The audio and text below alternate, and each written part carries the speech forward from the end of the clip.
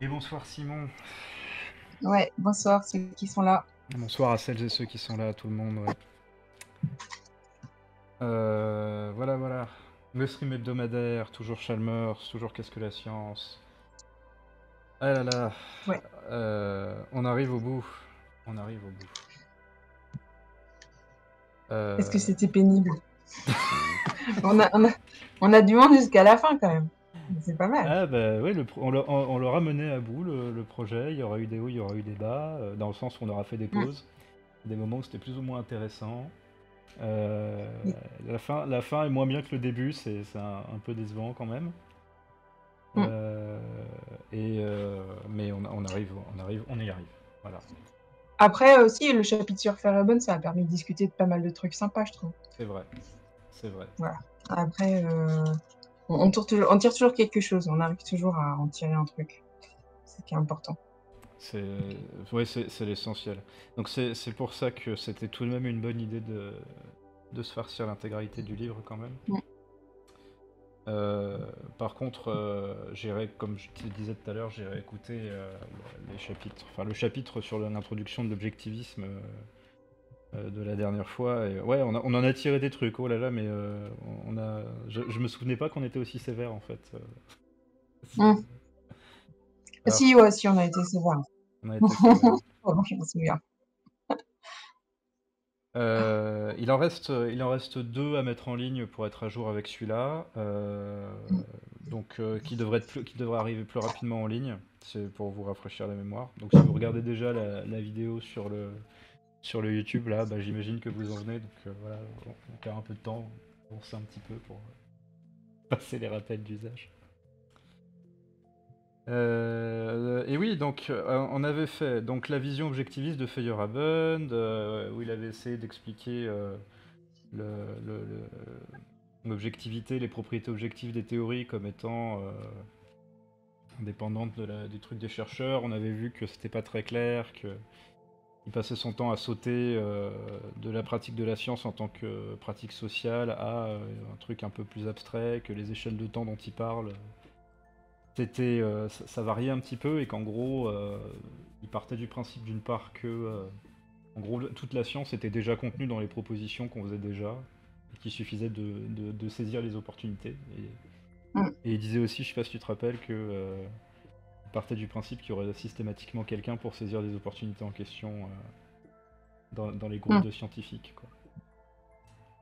et ça c'était euh, donc voilà on était un peu euh, euh, sceptique sur ça, sur ce qu'il avançait. Parce que pour quelqu'un qui se déclare quand Mm. même relativement ouais, falsificationniste, donc plutôt dans un que- quelque chose de plutôt rationaliste et euh, un peu euh, ouais, qui cherche des règles un Mm. peu euh, méta, métaphysiques quelque part, on va dire, ou euh, par rapport au, au fonctionnement de la science. Ouais. Euh, Et puis, euh, j'ai lu un article aujourd'hui euh, d'une chercheuse de Grenoble euh, qui travaille sur les valeurs en sciences, euh, sur ce que le féminisme euh, a apporté en fait euh, à la question des valeurs en sciences. Et euh, enfin, du coup, euh, elle revenait sur le fait que voilà, il y a, il y a vraiment la démonstration en fait qu'il y a des, des biais euh, liés à qui fait la recherche. C'est Mhm. juste factuel en fait. Parce que dès que tu mets euh, des féministes euh, dans la recherche, tout d'un coup, euh, ah bah mince, on n'avait pas vu ça. bah, ça-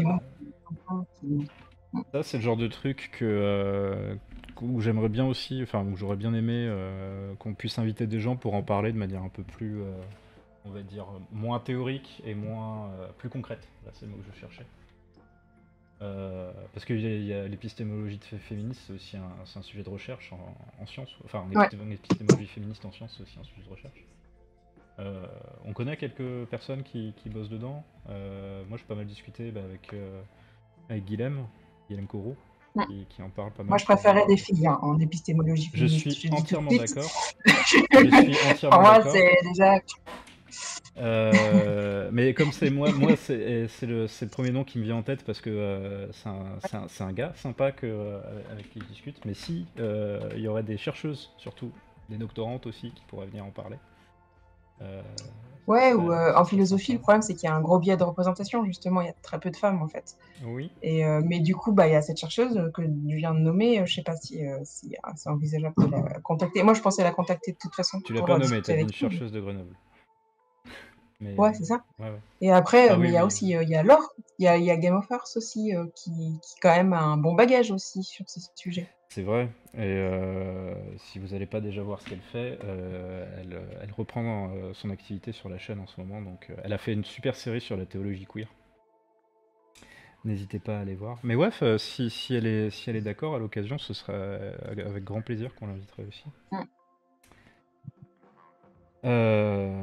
Donc, donc voilà, il y aurait effectivement tout un sujet pour euh, développer un petit peu euh, les, les, angles morts justement de Chalmers à ce niveau-là, par exemple Ou, euh, ou partir, partir de ce truc-là et, et, développer ces aspects de manière un petit peu plus concrète, comme je disais. Ouais.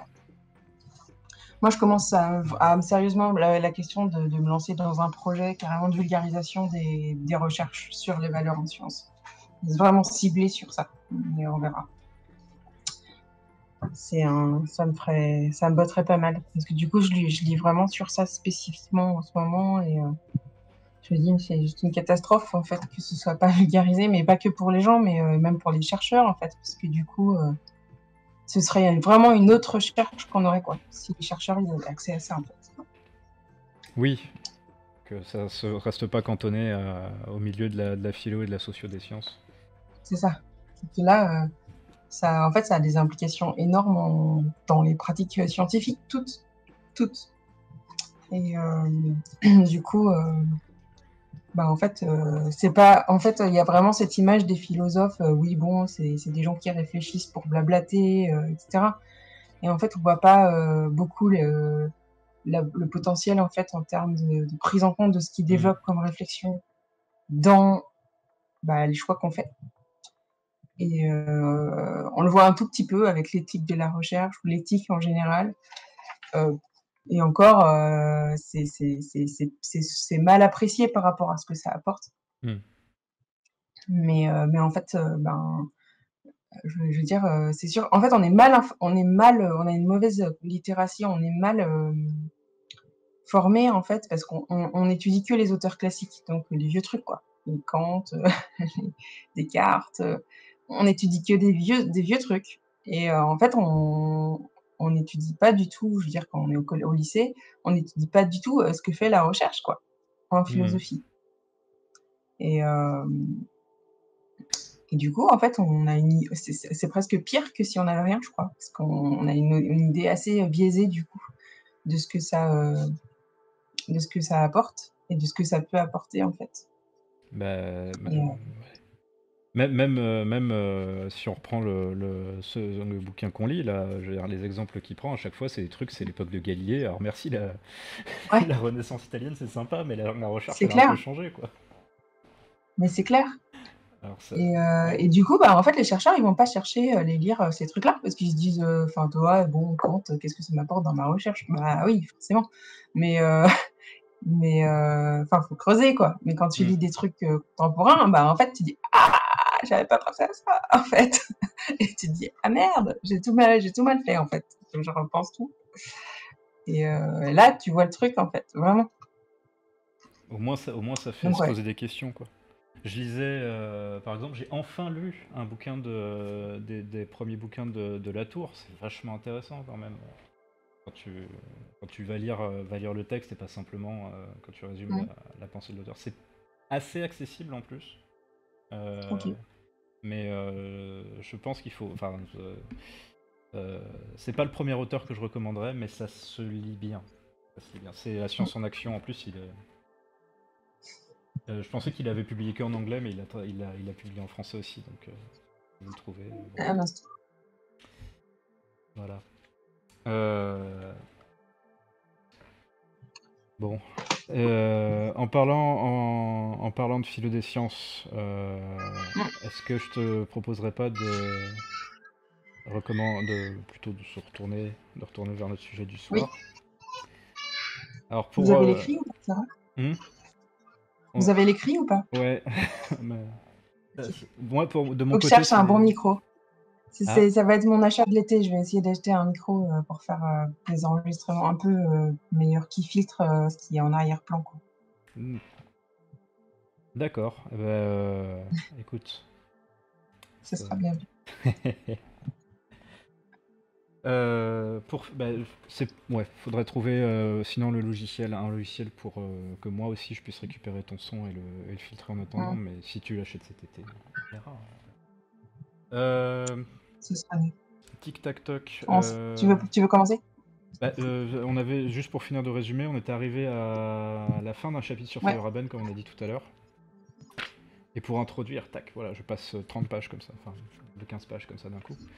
On arrive sur un chapitre qui s'appelle Réalisme, instrumentalisme et vérité. Euh, et donc il y a, trois mots, euh, il y trois mots compliqués euh, entre guillemets dès le titre. Est-ce que et le, chapitre d'après s'appellera Réalisme non figuratif? est-ce que tu penses, je ne sais pas si tu as relu le, chapitre, mais est-ce que tu penses qu'on peut essayer de dégrossir vite fait avec nos mots avant de dire ce qu'il a à dire? Euh, hmm, non, j'ai pas lu. Je l'ai même pas lu, je crois. Celui-là. Ah, On est arrivé. Euh, ouais, je pense que c'est là où je, m'étais arrêté, genre, euh, bah, je vois deux pages avant, donc juste pas les références de la. Et après, j'ai jamais lu la fin. Et du coup, du coup, non, je peux pas te résumer du tout. Mais du coup, ben, En général, il, va, il va, il, définit. Là, je vois, il définit, euh, il définit les termes. Et euh, donc, euh, je pense qu'on peut partir de ça, et puis on, va voir ensuite ah. s'il faut récapituler au fur et à mesure. Oui, oui, comme, comme c'était plutôt pour dire que, en fait, dès le titre là, réalisme et instrumentalisme, c'est deux interprétations, on va dire, de ce que représentent les théories, les théories scientifiques aussi. Et, et euh, bah, vérité, j'imagine qu'il entend vérité au sens euh, bah, philosophique plutôt. Donc, euh, qu'est-ce qu'on peut en tirer?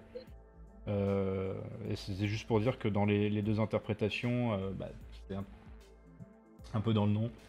réalisme, ça part du principe que, enfin, c'est une position qui part du principe que les entités décrites par les théoristes ont une, forme de réalité, d'existence ontologique réelle. Si j'ai un objet qui s'appelle électron dans ma théorie, euh, et qu'il y a quelque chose qui, existe vraiment qui s'appelle électron, quoi. Ouais, alors le dire comme ça, ça crée des vachement d'incompréhension. Parce que du coup, quand on le dit comme ça, et ben les gens ils disent, ah, ils croient que la réalité, elle n'existe pas. C'est pas ce qu'on dit. C'est pas ça qu'on dit. Du coup, euh, j'aime bien le dire en fait, euh, en disant, Mhm. Le fait d'être réaliste, c'est de considérer que euh, la réalité, elle est délimitée d'une manière déjà posée et qu'on fait que décrire cette délimitation en fait. C'est-à-dire que, euh, par exemple, si je prends euh, bah, mon bras, il y a le bras et c'est juste une entité et il n'y a, plus qu'à dire, bah voilà, c'est là le bras. Mhm. Mais en fait, bah, le bras, où il commence, où il s'arrête, est-ce que je l'arrête là ou est-ce que je l'arrête là euh, Est-ce que je l'arrête là ou est-ce que je l'arrête là euh, Est-ce que la sœur euh, qui est sur mon bras, elle fait partie de mon bras parce qu'elle est d'abord dans les pores et ensuite elle sort Tout ça, en fait, ça crée du flou en fait autour des objets. Et bah, en fait, on fait des choix sur la manière dont on délimite les choses et on les discrétise d'une certaine manière pour décrire la réalité. Mmh. Et, et, ça, en fait, ça fait que notre description de la réalité, bah, c'est elle est construite par ces choix en fait qu'on fait. Et euh, c'est important parce que quand euh, en fait on regarde différents plans, on va voir que euh, bah, la réalité elle n'est pas décrite pareil. Et des choses qu'on pense évidentes, qui sont des catégories qui sont pour nous données, qui se donnent à, nous, et ben en fait ben, on les retrouve pas dans d'autres langues. Et on le voit par exemple pour les couleurs, où les couleurs, en fait, ben, les, bords des couleurs sont pas faites de la même manière. Mmh. Euh, et là, c'est vrai qu'on se dit, bah oui, parce que c'est continu, les couleurs, donc ça paraît plus logique, mais mine de rien, il faut réfléchir quand même avant de s'en rendre compte. Euh, puis c'est vraiment intéressant l'exemple des couleurs, parce qu'il y a des couleurs qui sont distinguées par des gens qui donnent des noms différents à des couleurs très proches, et que nous, on n'est pas capable de distinguer, et pour lesquelles on a un seul mot, euh, et on ne les voit pas, les différences, parce qu'on n'a pas appris à les reconnaître Hmm. Donc ça, c'est un exemple hyper intéressant pour comprendre cette notion-là de, euh, ben, en fait, euh, on a vraiment une construction de notre description, mais aussi de notre perception du réel. Donc c'est pas considérer que la, la réalité n'existe pas, mais c'est considérer que la réalité c'est de la smoule, quoi. Et puis nous ensuite dedans on fait des dessins. Ouais, c'est on, un peu ça. on fait les découpages. euh, enfin, les, découpages découpages. qu'on qu'on fait sont construits au final, même si on s'en rend pas compte. quoi. Ouais. Ils sont construits même si on s'en rend pas compte. Et euh, évidemment ils font, ils peuvent faire sens, c'est-à-dire on, on part de ce qu'il y a comme relief au départ. Euh, si on peut prendre cet exemple de la smoule, mais euh, on part, on part pas d'un truc lisse, quoi. On part d'un truc où il y a effectivement certains reliefs, mais nous, après, la manière dont on découpe ça, bah, c'est c'est nous qui Mm. le faisons en fonction de ce qui nous intéresse, en fait, et des besoins qu'on a. Donc là, je pense que c'est important de bien insister sur le fait que c'est pas euh, juste dire, bah, ça n'existe pas. Il y a un truc, voilà, que la réalité, euh, les, que les, les gens qui se disent pas réalistes, bah, c'est pas qu'ils considèrent qu'il y a un truc qui existe, que la réalité n'existe pas, parce que c'est vraiment euh, un mensonge répandu par les réalistes. Mais bon, à quel point c'est qu'ils comprennent pas la position des non-réalistes, je sais pas. Je pense qu'il y en a qui comprennent vraiment pas, en fait, juste que c'est pas ça les positions non-réalistes. Euh, Ouais, mais euh, du voilà, coup, du coup, en gros, le, le réaliste part du principe qu'il y y a une description qui est indépendante de la description scientifique qu'on en fait, et que si une théorie marche, c'est qu'elle colle à cette description-là. C'est ça. Et euh, Et que les du coup, ouais. on va forcément converger, on va forcément se rapprocher en fait de la meilleure description du réel ou de la seule possible, parce qu'il n'y en a qu'une possible, c'est celle qui est définie par le réel en fait. Euh, ouais. Alors que l'instrumentaliste, ben, euh, comme c'est dans le nom, on fait des découpages instrumentaux parce qu'ils sont utiles, quoi. En gros, c'est ce que tu disais. Ouais, Voilà. c'est ça.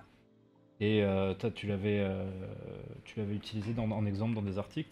Tu avais mentionné les couleurs là, mais il y a aussi le, Mm. les définitions du sexe qui dépend euh, des domaines d'études et Mm. euh, où ben, on se focalise sur certains critères en fonction du domaine d'études. Et Mm. parfois, euh, il y a des, des, des- des- des groupes qu'on crée dans un, dans un domaine qui recoupent grosso modo un groupe dans un autre domaine, mais avec où Mm. les catégories sont quand même distinctes, mais se recoupent C'est beaucoup, clair. mais sont distinctes, quoi. Mm. C'est clair, bah, ça n'a pas du tout le même sens de définir le sexe euh, en biologie en général. Biologie générale, le sexe, euh, c'est pas défini en fonction des chromosomes, hein, parce que très vite, ça marche pas. Mm. Alors déjà, tu vois, les oiseaux, euh, c'est les, les femelles qui ont, deux chromosomes sexuels qui sont différents et les mâles qui ont le même. Donc on les appelle, je sais plus, ZW, je crois, et. WW. Euh, donc voilà, si tu, si tu dis, ah, c'est les chromosomes, bah oui, ça marche pas au bout de vraiment très très. T'as pas besoin de t'éloigner beaucoup pour que ça marche plus. Euh, donc voilà, c'est effectivement. euh, hmm. Mm. Souvent, les conservateurs ils disent, bah c'est comme ça, et puis c'est tout, euh, mais il faut pas regarder loin, quoi. Voilà. Et euh, oui, et bon, ça, et ça, ça, se découpe en fait de, de- dans, dans, dans- ça, se dé- ça se décline dans toutes les disciplines plutôt. Là, j'ai Oui. parlé, j'ai parlé des électrons tout à l'heure en physique. Mm. Euh, moi, il y a un exemple que j'aime bien aussi, euh, c'est en astrophysique. Il considère qu'en gros, il y a souvent pour faciliter la, la description, il considère qu'il y a deux, euh, il y a deux types d'éléments. Il y a l'hydrogène et il y a les métaux. Parce qu'en gros, l'hydrogène. La différence entre l'hydrogène déjà et, euh, et l'hélium, c'est déjà euh, bah, grosso modo un facteur 2, mais euh, en, en masse. Et euh, la masse, enfin, ils sont sur des phénomènes où les, les- les- les échelles de compression et tout sont tellement importantes qu'en gros, il n'y a que l'hydrogène qui arrive à s'en sortir. Donc, il y a, en gros, ils ont, ils ont choisi le nom de métal, Mm. c'est tout ce qui est plus lourd que l'hydrogène. Donc, ça fait tac, paf. Ouais, c'est ça. Donc, du coup, la catégorisation n'est pas du tout la même qu'en chimie, par exemple. Non, parce que les, les phénomènes fins, bon, euh, ça, ça compte. Mm. Et encore une fois, ça dépend aussi. euh, je veux dire, ils disent pas euh, genre que tout est métal, Mm. mais c'est ils font un, un gros paquet. Ils, ont cette espèce de cette espèce de gros paquets avec l'hydrogène et le reste, quoi. Alors qu'on dit ah là là, la chimie, normalement c'est super fin, mais quand on en a pas besoin, paf. euh, Mm. bon. J'ai des copains astrophysiciens qui en parleraient beaucoup mieux, mais. euh, euh, Euh, après, euh, du coup, il y a des gens qui diraient oui, mais là, c'est ju- c'est juste une question de, euh, de groupe. C'est-à-dire, tu as des, t'as des super catégories et puis dedans, tu as des sous-catégories. Et ça, euh, ça va, ça, ça gêne pas les réalistes, ça. Ça, ça gêne moins les réalistes. Tu vois ce que je veux dire? Ouais, Que le fait que. euh, D'un coup, ils deviennent instrumentalistes parce que ça les arrange un peu, quoi.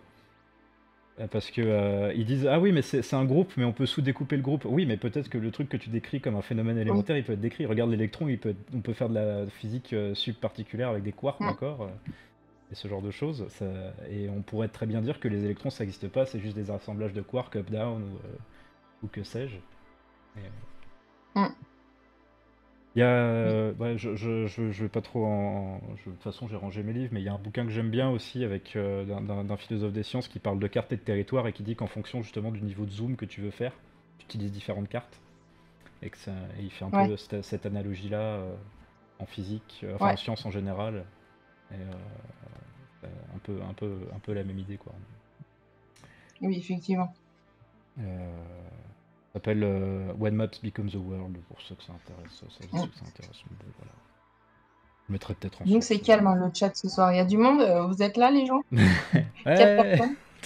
On va Ouais, il y a, y a- ouais, y a 4 personnes en moyenne. Bah après, euh, j'ai vu qu'on avait 90 vues quand même sur la, la vidéo de la semaine dernière. Mm. Mais il y a pas mal de gens qui regardent aussi en replay, je pense, donc euh, vas-y. Ça, Euh, et euh, peut-être, je sais pas, j'en parlerai, mais peut-être qu'on on finira par les mettre aussi en, en audio. Euh, c'est peut-être plus simple de regarder ou d'écouter des trucs en audio. Ouais, après tout ce qui est en vidéo, c'est possible de les, de les mettre en audio euh, facilement, même sans regarder l'image. Mais euh, oui, ça peut Bah, être pour, aussi. euh, pour des lectures comme ça, ça peut être une solution. Ouais. C'est vrai qu'il y a des personnes qui, qui ont des applications dédiées à l'audio et donc ça peut être une, une- ça peut être effectivement pratique pour eux. Donc, euh, donc voilà. Donc sur ces remarques euh, introductives, ouais, ouais, euh, eh ben, je te propose, je te propose d'y aller, ouais. Ok. Réalisme, instrumentalisme et vérité. Section 1. Remarques introductives. Dans son chapitre et dans le suivant, je tenterai de traiter de quelques questions problématiques concernant la relation entre les théories scientifiques et le monde auquel elles sont censées s'appliquer. D'une part, nous avons affaire à des théories scientifiques qui sont des constructions humaines, sujettes à des modifications et des développements, peut-être sans fin. D'autre part, nous avons affaire au monde auquel ces théories sont censées s'appliquer et qui n'est pas sujet au changement, pour ce qui est du monde physique tout au moins. Quelle relation ces deux domaines entretiennent-ils? On dit, pourra euh, répondre à cette question. Ouais, juste quand il dit le monde physique n'est pas sujet au changement, euh, bon, il évolue quand même pas mal, hein, euh, dans le sens où. ouais. Oui, mais euh, ce qui, j'imagine ce qu'il veut dire, euh, on étudie euh, les lois, les lois derrière ces changements. Oui, On va c'est, dire ça. je pense que c'est c'est- c'est ce qu'il veut dire, quoi. Ouais, Mais encore une fois, ça montre qu'il est dans une épistémologie ou une description épistémologique très physique, quoi. Au sens où ouais, c'est vraiment les, les lois de la physique qui changent pas. Pour le reste, ouais. C'est ça qui est intéressant, le reste. ouais. D'ailleurs, finalement, il y a, il y a de sciences que ce qui est fixe. euh, L'histoire, euh, ça bouge, c'est pas intéressant. euh, L'évolution, ça bouge, c'est pas intéressant. Mm. C'est pas des sciences parce que ça bouge. C'est intéressant d'ailleurs comme euh, délimitation aussi, ça. Mm. Question de s'intéresser qu'aux lois versus s'in- s'in- s'intéresser, bah, c'est des connaissances, de connaître tous les, tous les détails en fait de ce qui se passe dans tel contexte, à tel moment, etc. aussi, quoi. Puis d'ailleurs, même euh, si tu regardes Ouais. en, en biologie, Oui. les, les lois de l'évolution, ça, ça, ça c'est encore la description elle change, mais on peut dire qu'elles sont relativement fixes, ça bouge pas trop.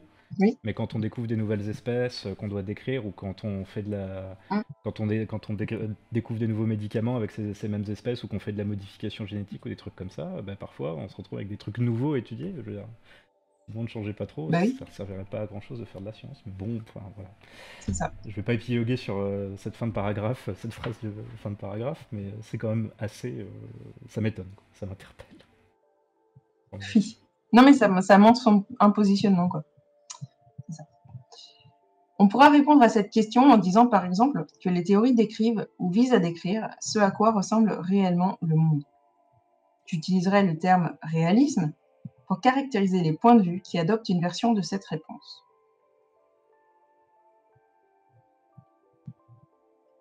C'est bizarre. Non, mais c'est- ce qu'on disait quelque part. Ou pas- alors c'est- Oui. ça correspond peut-être plus à la formulation que moi j'avais. Quand je disais, ouais, euh, il, considère qu'il y a une catégorie qui est indépendante de la description qu'on en fait, quoi. Enfin, il a une manière de catégoriser le monde. oui, mais c'est ça. Mais du coup, euh, quand il. Ouais. Et c'est ça qu'on cherche. Pour lui, là, c'est ce qu'il est en train de dire. Hein. Les réalistes ont très très souvent une manière, en fait, une manière de décrire le réalisme qui, pour moi, ne permet pas de départager les, les positions réalistes et non réalistes. C'est-à-dire qu'un non réaliste souvent, dans la définition que les réalistes donnent du réalisme, ils vont dire Bah oui, mais moi aussi, je fais ça. C'est pas ça qui nous distingue, en fait. Et comme ils comprennent pas les positions adverses, souvent, bah, du coup, ils donnent une division qui pense être en opposition à ce que les positions adverses ont.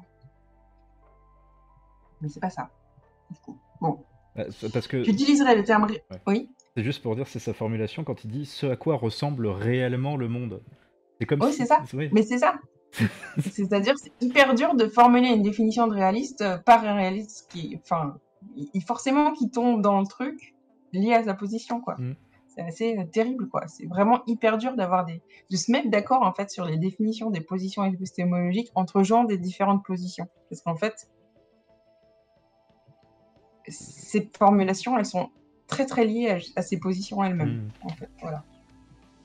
Et euh, ce que je voulais dire, ça, rend euh, du coup les philo des sciences particulièrement compliquées à, apprendre parce qu'en fait, on est obligé de comprendre les définitions des différentes personnes pour saisir chaque courant et en quoi les gens, comment les gens les comprennent. Parce qu'en fait, chaque personne, chaque courant a une compréhension différente des autres courants, on va, on va dire en gros.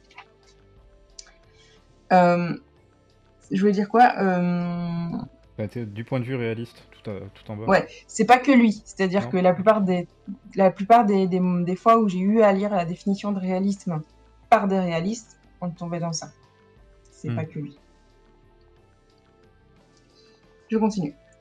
Du point de vue réaliste, la théorie cinétique des gaz décrit ce à quoi ressemblent réellement les gaz. Oui. C'est marrant, hein, parce qu'on reprend le bras. Hein. Je dis, bon, mon bras, il va réellement du poignet à l'épaule. De notre position, ça n'a aucun sens. Enfin, je veux dire, ça. Ok, d'accord, oui, ok. Euh, c'est bien. Mais du coup, on n'a rien, on rien dit, quoi. Bah, pour eux, ouais, ils partent du principe que. Pour nous, bah oui, réellement, on est d'accord, quoi. Mais c'est pas ça qu'on dit, quoi. Voilà. voilà. Ouais. La théorie cinétique s'interprète comme une théorie affirmant que les gaz sont réellement constitués de molécules animées d'un mouvement aléatoire et qui entrent en collision les unes avec les autres, et avec les parois du récipient qui le contient. D'une façon similaire, d'un point de vue réaliste, la théorie électromagnétique classique s'interprète en affirmant qu'il existe réellement dans le monde des champs électriques et magnétiques qui obéissent aux équations de Maxwell et des particules chargées qui obéissent à l'équation de la force de Lorentz. Euh, il y a peut-être un, truc que je peux préciser là-dessus. Quand il dit qu'il existe réellement euh, des champs ou des trucs comme ça, des champs électriques et magnétiques, euh, en fait, à la limite, les, champs électriques et magnétiques, que ce soit des objets mathématiques qui, permettent à la théorie de fonctionner ou qu'ils existent euh, vraiment, vraiment, qui est vraiment un objet champ qui répond à ces propriétés-là et euh, qui interagissent avec la matière de la même manière qu'on décrit les interactions mathématiques entre les champs et, euh, les particules. ce qu'il faut comprendre aussi, c'est que ça change rien à l'efficacité de la théorie en elle-même, face à, son explication. Donc en, fait, ce qu'ils font, c'est qu'ils postulent l'existence d'un truc dont on a juste une description mathématique, alors que de l'autre côté, on dit juste, bah, c'est un outil mathématique qui est pratique pour décrire le phénomène. Quoi. Moi, j'aime bien prendre l'exemple de la force où euh, on se dit, ouais, euh, il y a une force d'attraction euh, entre, entre deux objets. Ben, ouais, on a cru ça pendant 200 ans et maintenant on dit, ah non, c'est un, c'est la courbure de l'espace-temps qui est déformée. Ça veut dire quoi que les. Qu'est-ce qui existe, les forces ou la courbure de l'espace-temps C'est un peu ça le, aussi le, problème. En fait, la, la, position, elle est... là, en fait, c'est intéressant ces exemples aussi parce que euh, on est dans des exemples où euh, effectivement euh, c'est des cas, c'est des cas en fait qui cristallisent l'incompréhension à mon avis. C'est-à-dire que, c'est-à-dire que pour eux, du coup, par exemple, si on prend un des exemples que tu as pris. euh, les, champs magnétiques ou la force, ouais, la force La force, par exemple. La force. en fait, leur euh, conception, c'est que, ah, on a parlé de force, mais en fait, on s'est trompé. En vrai, en réalité, en fait, c'est ça. Et on change. Donc ça, c'est leur conception. Que nous, notre conception, c'est on construit notre description du monde, on a fait Mm. telle description parce que ça paraissait pertinent, et on a adopté telle autre conception et description maintenant parce que ça paraît plus pertinent. Mm. Et ça paraît une nuance légère, mais ça veut pas forcément dire que ça c'est vraiment ça. Ça pourrait être autre chose, mais ça veut pas dire qu'on s'est encore trompé. Mais justement, il y a peut-être pas d'autre, il n'y a pas de vrai ça en fait. C'est-à-dire qu'il n'y a pas de vraie euh, bonne euh, manière de décrire et que bah, c'est juste des manières qui sont plus ou moins euh, euh, bonnes en termes de comment ça nous sert et comment ça nous parle en fait, par rapport Ouais. à ce qu'on observe. Et c'est pas parce qu'on mobilise des objets mathématiques ou des descriptions mathématiques qu'on sous-entend qu'il y a forcément quelque chose qui, Ouais. qui existe et qui incarnerait ce truc-là, quoi. Ouais, mais du coup, euh, là aussi, c'est vrai que bah, du coup, quand ils prennent ces ex- quand tu prends ces exemples, ils se disent bah voilà, vous êtes, vous croyez pas que c'est la réalité, alors que c'est des exemples qui sont quand même minoritaires dans les les problématiques. Mais c'est vrai qu'en physique, il y a, il y a beaucoup d'exemples comme ça, Ouais. où en fait, on n'a pas, c'est pas quelque chose qu'on peut, les, les objets, c'est pas, c'est pas des choses qu'on peut toucher, palper, et du coup, euh, c'est vraiment comme tu dis, bah, on a une description. euh, mathématiques de ces objets et en fait euh, on n'a pas grand chose d'autre quoi et du coup il y a des fois en fait peut-être qu'effectivement ils n'existent pas en tant qu'objet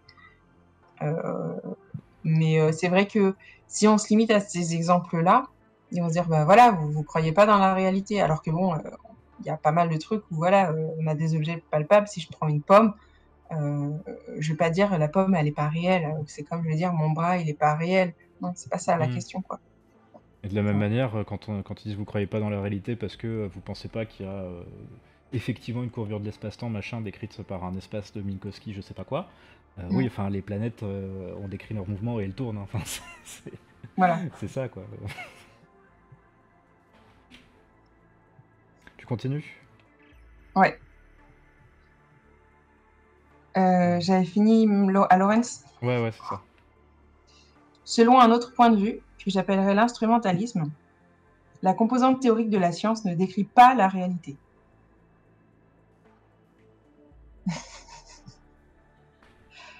Il dit, il dit bien la composante instrumentaliste. Donc c'est Ouais, c'est bien ce qu'on dit, c'est que euh, le... Il faut, faut traduire la phrase quand même, c'est que les objets mathématiques qu'on mobilise ne sous-entendent pas de... de euh, on va dire de, de, de miroir euh, de, physique euh, ont- ontologiquement réel, j'ai envie de dire, mais ça c'est des mots compliqués. Ouais. Mais du coup, il aurait mis euh, la réalité avec un R majuscule, parce que là, c'est R minuscule.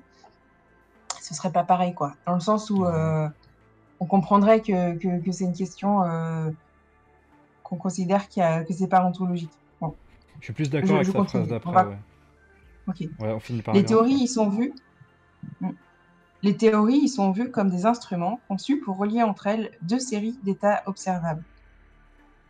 Pour l'instrumentaliste, les molécules, en, en- les molécules en mouvement de la théorie cinétique des gaz sont des fictions commodes permettant aux scientifiques de relier entre elles des manifestations observables des propriétés des gaz et de procéder à des prédictions. Les champs et les charges de la théorie électromagnétique sont également des fictions permettant aux scientifiques d'agir de même en ce qui concerne les aimants, les corps électrisés et les courants porteurs de charges. Tu veux réagir? Et là, ouais, c'est intéressant parce qu'en gros, il dit que euh, pour le quelqu'un qui, euh, un instrumentaliste qui considérerait la théorie cinétique des gaz, il dirait oui, euh, les, les atomes qui composent le gaz sont effectivement des objets, des- justement, juste des objets mathématiques. Mm. euh, et qu'on n'a pas de raison de, de croire en leur existence. Ce qu'il est en train de dire, c'est que parce que empiriquement, on peut pas toucher un atome, quoi, ou un truc comme ça. Mm. Euh, sauf que euh, on a quand même un- une bonne batterie aussi de séries d'états observables, comme il dit, qui justifient qu'on peut Oui. faire des découpages de la matière, au moins à Mm. des échelles qu'on peut appeler euh, des échelles moléculaires. Mm. Euh, on peut donc avoir des, des, euh, des découpages de la matière assez pratiques, qu'on appellera molécules, euh, ou atomes, ça dépendra. Euh, et ces, ces- ces trucs observables-là, bah, on appellera ça des atomes, ok. Euh, Mm. Et euh, on a de bonnes raisons de, de dire que c'est des petits découpages de matière euh, Mmh. Ouais, Qui font sens. ouais, qui, qui ont, qui ont du sens, qui ont, qui ont un certain sens. Mais comme tu disais, pour, pour le coup du bras, à partir d'où est-ce que ça, ça s'arrête la matière, quoi? Je veux dire, si on descend suffisamment fondamentalement, c'est des nuages électroniques qui s'interpénètrent à peine ou enfin qui, qui, de, qui, se, qui se touchent sans se toucher, vu que bon, je veux pas rentrer dans le détail, mais voilà. Bah, typiquement, si tu prends la distance des électrons au noyau et que du coup tu mélanges tout ça, tu te dis bon en fait c'est c'est une soupe quoi. Bah, oui, c'est une grosse soupe de nuages électroniques dans laquelle il y a des, petits nuages, des petits nuages nucléaires, de, enfin nucléaires au sens de noyau, Ouais. quoi. Euh, en soi, tu peux très bien dire, ouais, en fait, le, découpa- le découpage en termes d'atomes ou de molécules, il a pas de sens. Il faut faire un découpage en électrons et en. C'est juste ouais. Ouais. Euh, et, et donc, mais là, ce qu'il est en train de dire, c'est que, en gros, les instrumentalistes sont des empiristes euh, qui diront, ouais, euh, si je peux pas le toucher, si je peux pas le sentir, ça compte pas. Mm. Euh, et que je vais juste essayer d'expliquer la série d'états observables que je peux toucher, que je peux sentir, et les aiguilles qui bougent sur mes Mm. capteurs. Quoi. Qui- ce qui est- Et puis euh, moi il y a un truc que je note c'est quand il dit fiction commode, il donne une impression il, donne un- une impression que bon on pourrait faire n'importe quelle fiction, ça marcherait et, et on serait content. Mm. Il, il aurait mis juste fiction courant- cohérente avec les données. Euh, déjà ça aurait pas donné le même poids euh, à, la, à, à la description, tu vois. Mm. Là en fait il, il- comment dire il euh, il en donne une description qui forcément c'est toujours comme ça avec la réaliste. Le réalisme c'est le truc qui a l'air évident qu'il faut y adhérer et les, les et les, les positions adverses euh, tu dis bah pourquoi les gens ils considèrent ça? C'est bizarre quand même Ouais, ça, ça a l'air- débile comme truc. ça a l'air bête et en fait c'est juste que bah tu rajoutes juste un mot et ça change tout le sens du truc enfin toute la perception que t'en as en tout cas Puis même c'est bizarre parce que de la manière dont il dit le truc, la théorie cinétique des gaz, euh, la manière dont il le décrit, euh, s'il il s'agit juste de rendre euh, cohérent, enfin de comment, comment il dit, relier entre elles deux séries d'états observables, la thermodynamique macro, elle suffit, hein, pas besoin de descendre à l'échelle Ouais. atomique. Donc je sais pas, pas, convaincant son truc, hein. franchement. ok on continue Allons-y. Le réalisme contient la notion de vérité. Pour le réaliste, la science cherche à formuler des descriptions vraies de ce qu'est réellement le monde. En ça, je suis d'accord. Une théorie qui décrit correctement un aspect du monde et de son comportement est vraie. Une théorie qui décrit incorrectement quelque aspect du monde est fausse. Bah, euh, j'ai envie de dire que ça rend fausse à peu près toutes les théories du coup. Donc ça, c'est notre position à nous. Ah c'est- c'est lui qui le dit, hein, si, euh, Non, parce que du coup, du coup, ils considèrent qu'à un moment, on trouve la bonne réponse. Quoi. En fait, c'est ça. Les réalistes, ils, tr- ils pensent qu'on s'approche Ouais. de plus en plus de la bonne vraie réponse. Et, et nous aussi, hein, voilà, et on peut, on peut être, non, ne pas être réaliste et considérer qu'on s'approche quand même d'une meilleure description de la réalité. Euh, donc une description plus vraie, mais du coup, le sens de vrai là-dedans n'est pas le même sens que vrai pour les réalistes. donc quand nous, on dit des descriptions plus vraies, ça veut dire une description qui décrit mieux la réalité. Et quand eux, ils disent quelque chose de vrai par rapport à faux, c'est quelque chose qui correspond à la seule, enfin, à la, à la description de la réalité telle qu'elle se donne à nous. Voilà. C'est un peu ça. Je sais pas si la nuance, elle est hyper claire pour les gens, mais c'est pas grave. Ils vont comprendre au fur et à mesure. Je pense qu'on va insister pas mal. Donc, euh. Selon le réalisme, un sens où on au sens où l'on on l'entend généralement, le monde existe indépendamment de notre présence en tant que détenteur de savoir, et son mode d'existence est indépendant de la connaissance théorique que nous en avons.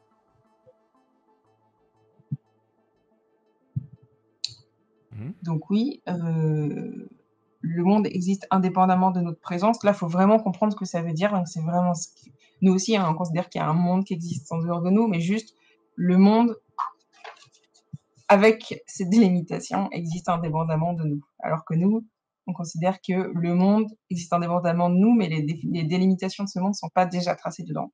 Nous, on va les tracer. C'est ça. Et beaucoup c'est faux.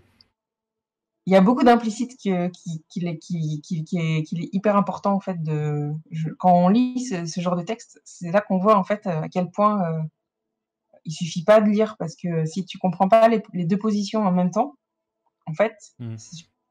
ton interprétation du texte, elle est forcément ratée. Là, tu vois, tu lis ces phrases, tu dis ah bah donc les autres ils pensent le contraire, mais non, c'est plus nuancé que ça. Les théories vraies décrivent correctement cette réalité. Si une théorie est vraie, elle est vraie parce que le monde est comme il est. L'instrumentalisme comprendra également la notion de réalité, mais dans un sens plus restrictif. il n'est pas qu'on comprend la, réalité, c'est bien. Les descriptions du monde observable seront vraies ou fausses selon qu'elles le décrivent correctement ou non. Cependant, les constructions théoriques, qui sont conçues pour nous donner une maîtrise expérimentale du monde observable, ne seront pas jugées en termes de vérité ou de fausseté, mais plutôt en termes de leur utilité en tant qu'instrument. Ça colle à peu près à ce qu'on pense. Euh, Ouais, parce que euh, là, euh, il met un peu sous le tapis le fait que nous, quand on dit utiliser en tant qu'instrument, ça, bah, c'est, là qu'on dit vrai ou faux, mais c'est pas, ça veut pas dire la même chose, c'est ce que tu disais. Quoi. Ouais. Bah, et puis, utilité en tant qu'instrument, mais après, il y a d'autres aspects hein, que l'utilité. Mm. Enfin, il y a beaucoup de choses derrière ce mot utilité. C'est très très très vaste en fait. Oui. Bah, c'est euh, ce que tu disais aussi, c'est que définir, enfin tu le disais aussi euh, dans ton article avec les exemples notamment que tu as en, en, mm. santé publique, comment est-ce qu'on définit des cas de paludisme et en fonction de là où on se place ou ce genre de trucs. Euh, ouais. Bah, et de ce qu'on veut faire avec, avec la reconnaissance des cas et l'identification des cas, ouais. Mm. Et parce que ouais, l'utilité, ça se définit par rapport à quelqu'un qui veut avoir une utilisation de quelque chose. Donc, mm. là, euh, tu as une composante subjective. Euh, C'est ça. indépassable. Euh. Effectivement. Après, là où c'est un peu dangereux, c'est que si tu prends par exemple, je sais pas, des modèles très complexes de météo, je sais pas trop le détail de comment ça marche, mais je sais qu'on comprend pas forcément des il y a, des modèles qui sont très statistiques en fait, je pense, où euh, du coup, euh, en fonction de tel et tel paramètre, tu prédis qu'il va se passer ça. En fait, tu fais des, des modèles très complexes, tu comprends pas ce qui se passe dedans. Et euh, du coup, tu te dis, bah, si nous, on a ces positions, on va pas chercher à comprendre les mécanismes, parce qu'on va se contenter de ce qui sert, c'est-à-dire des modèles qui prédisent. Et en fait, non. en fait, on, s'intéresse au mécanisme. On, s'intéresse au mécanisme, mais ça dépend après, euh, ouais, ce qu'on entend par utilité. Un, modèle de météo qui essaye de prédire euh, le temps qu'il fait euh, ou s'il y aura des catastrophes, bah, on va pas forcément l'utiliser pour, même s'il est efficace, enfin, s'il est efficace, on va pas forcément l'utiliser pour essayer de faire de la, de la science fine mécanistique. Bah, par contre, on va le faire tourner sur les calculateurs de Météo France pour prédire le temps qu'il fait. Euh, ouais, mais il pourrait se dire, mais pourquoi du coup vous allez aller chercher les mécanismes si vous croyez que de toute façon euh, ils n'existent pas et que vous avez juste besoin de faire des trucs utiles, aller juste faire des stats, quoi. Tu vois? Ouais, oui, oui, bah c'est parce que ça répond à des questions différentes aussi. Ouais, voilà, c'est ça. Et du coup, c'est pour ça aussi que euh, derrière utilité, il y a vraiment beaucoup de choses différentes mm. et c'est pas seulement faire des prédictions, en fait. Voilà. Et pour, D'ailleurs, en termes de, on tu prends l'exemple de la météo, si j'ai bien compris, comme de toute façon, euh, c'est ce qu'on appelle des systèmes chaotiques, donc euh, de toute façon, le modèle il finit par diverger euh, et par donner des résultats qui sont différents de la réalité. Si j'ai bien compris comment ils font en plus, ils en font tourner plusieurs, donc des, descriptions mathématiques différentes avec les mêmes données qui passent leur temps à récupérer et à mettre à jour. Et ils regardent en gros la ils font, ils font, ils font une stat hein, de euh, quelle est la probabilité du temps, que ça, du temps que ça donne en fonction des, différents résultats. Ouais.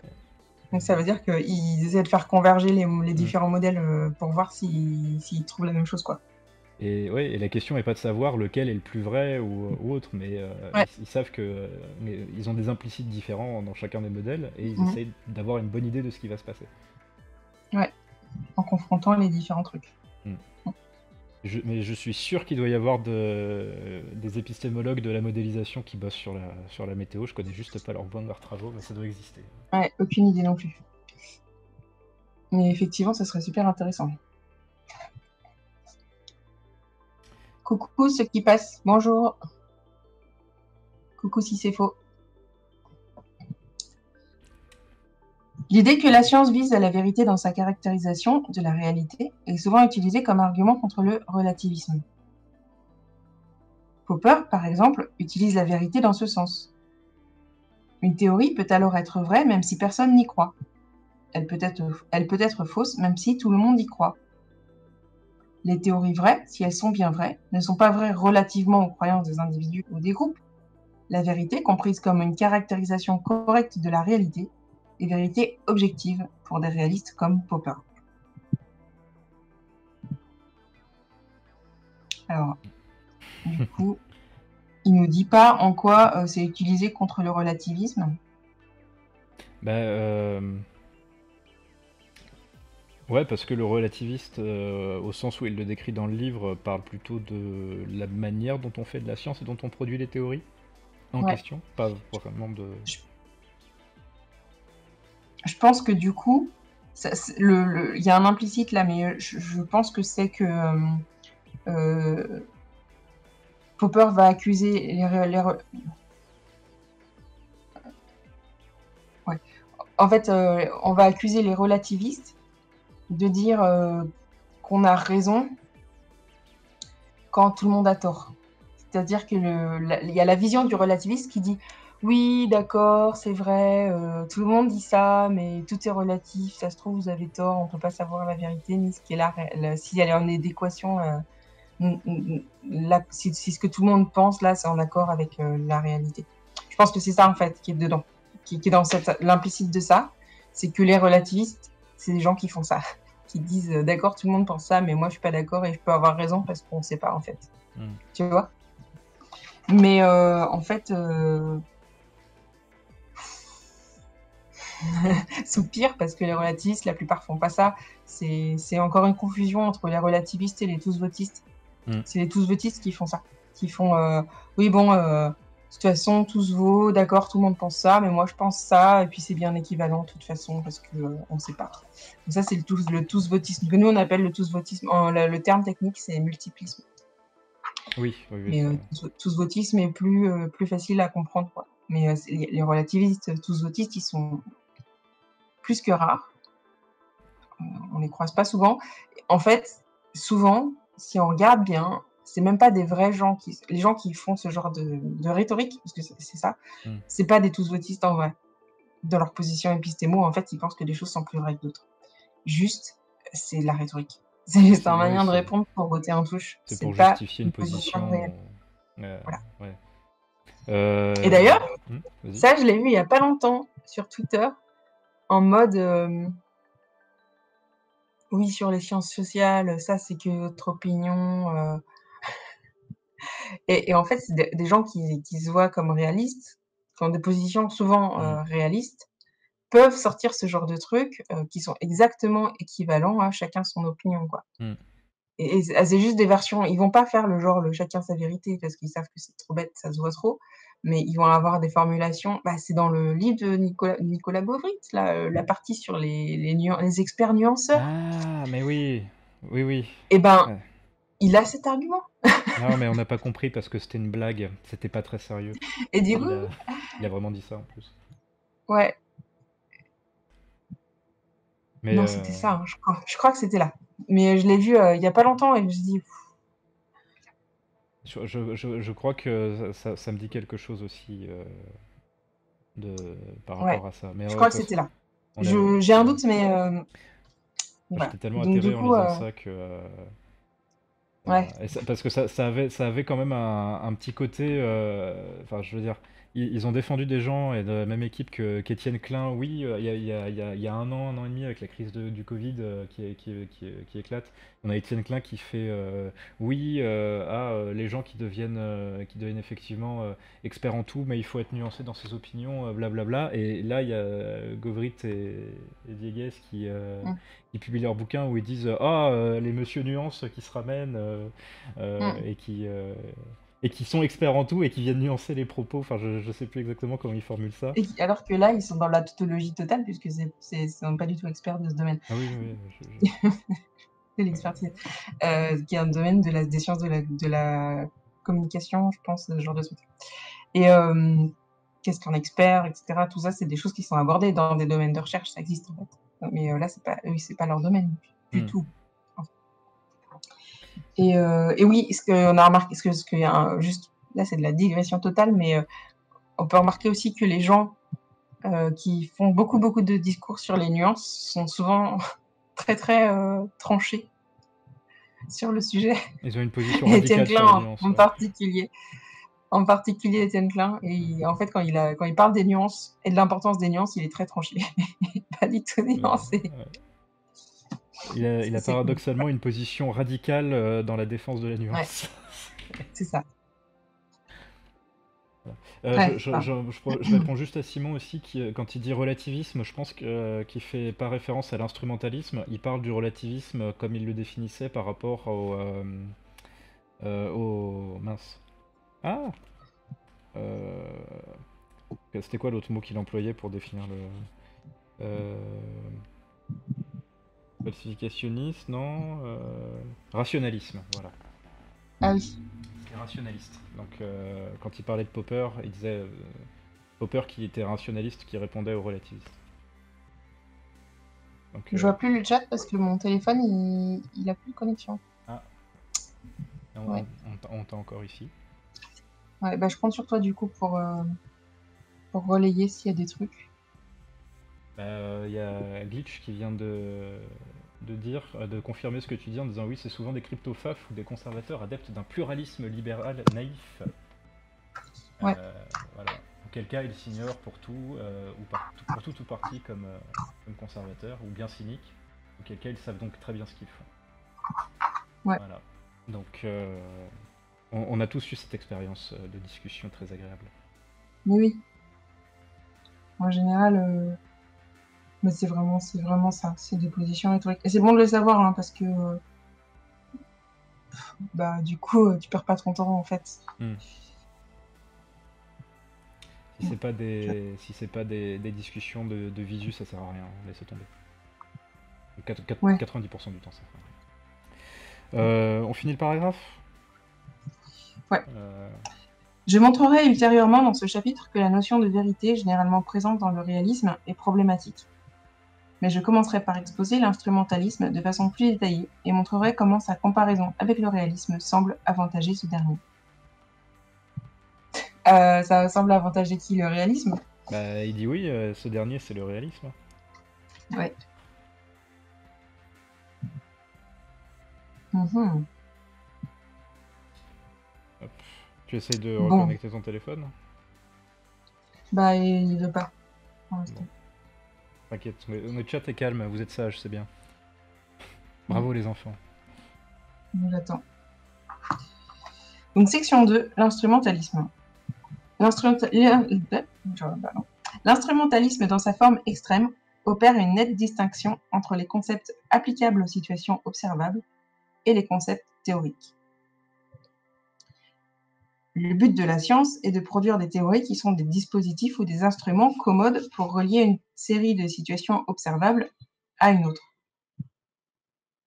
Les descriptions du monde comprenant des entités observables décrivent effectivement ce à quoi ressemble réellement le monde, mais les descriptions des systèmes comprenant des concepts, théoriques ne le font pas.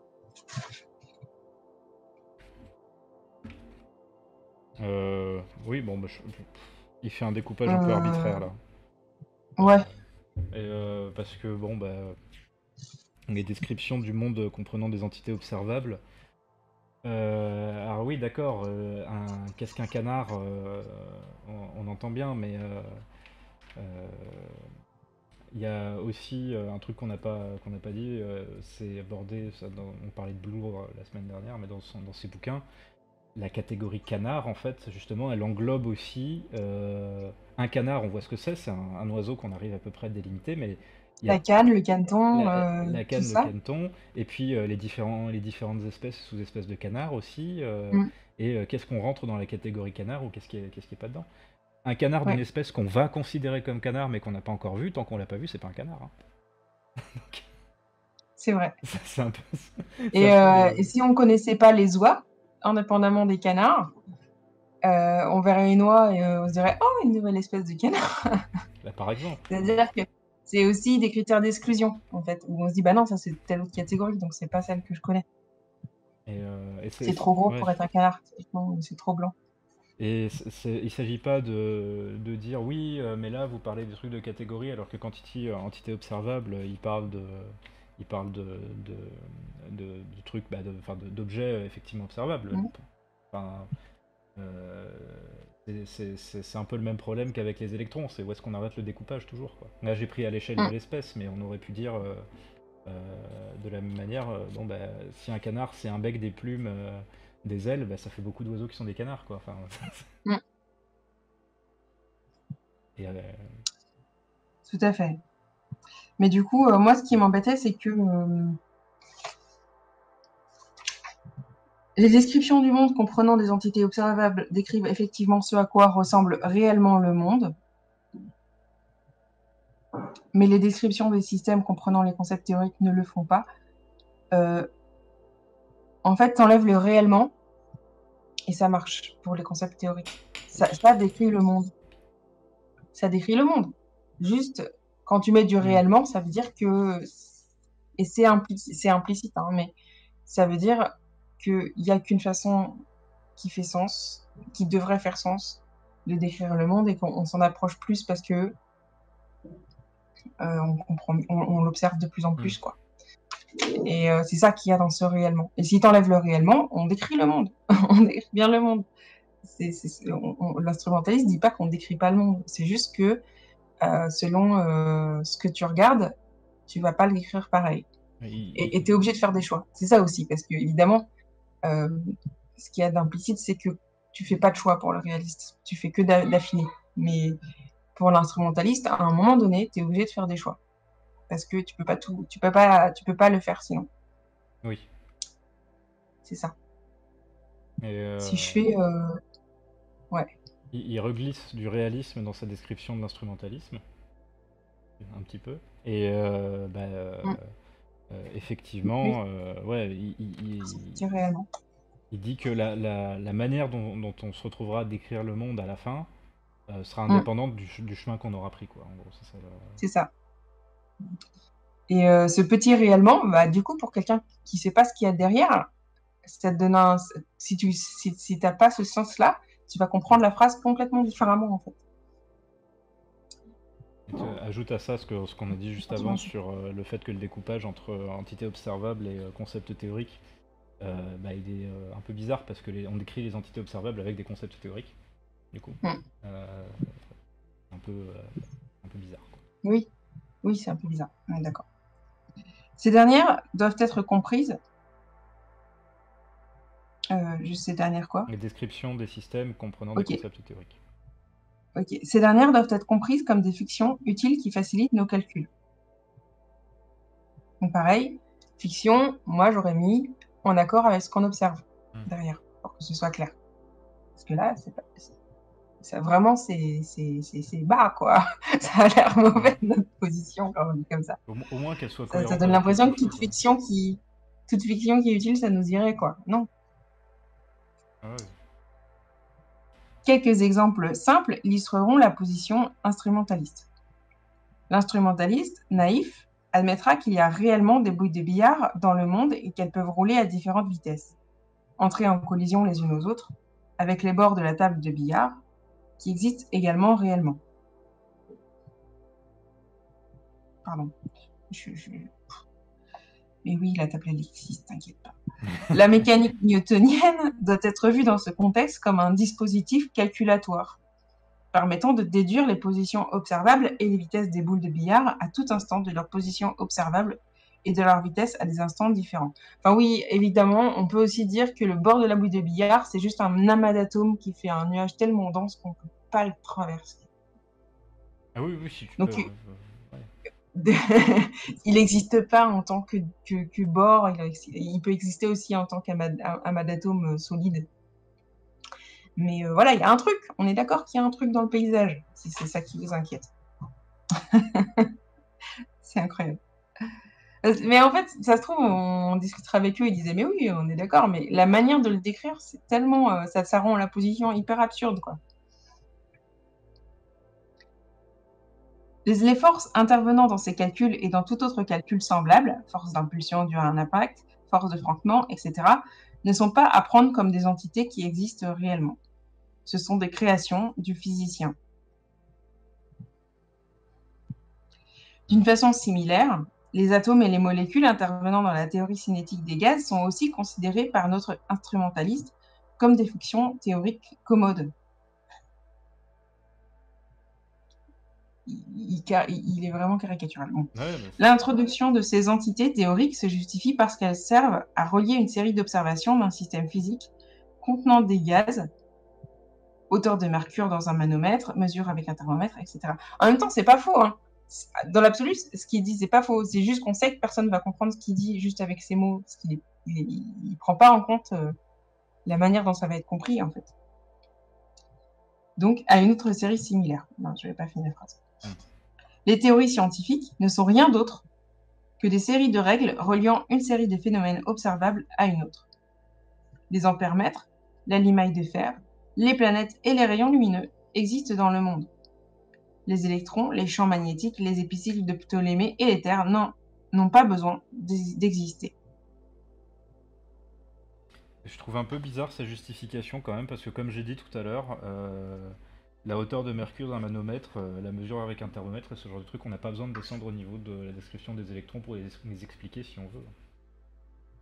Euh, Enfin, des électrons, des atomes, je pensais.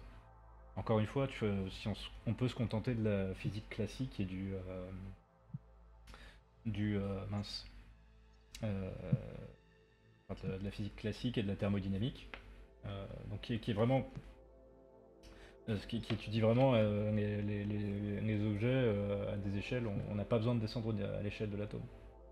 Ouais. On- on- on- Et, et ça suffit pour euh, relier des séries de Mm. des séries d'observations. Et la construction d'appareils théoriques, elle sert justement à, à quand même à inscrire, euh, comme j'ai dit, euh, de, de- certains euh, certains phénomènes où on juge que le découpage en atomes ou autre, il est justifié.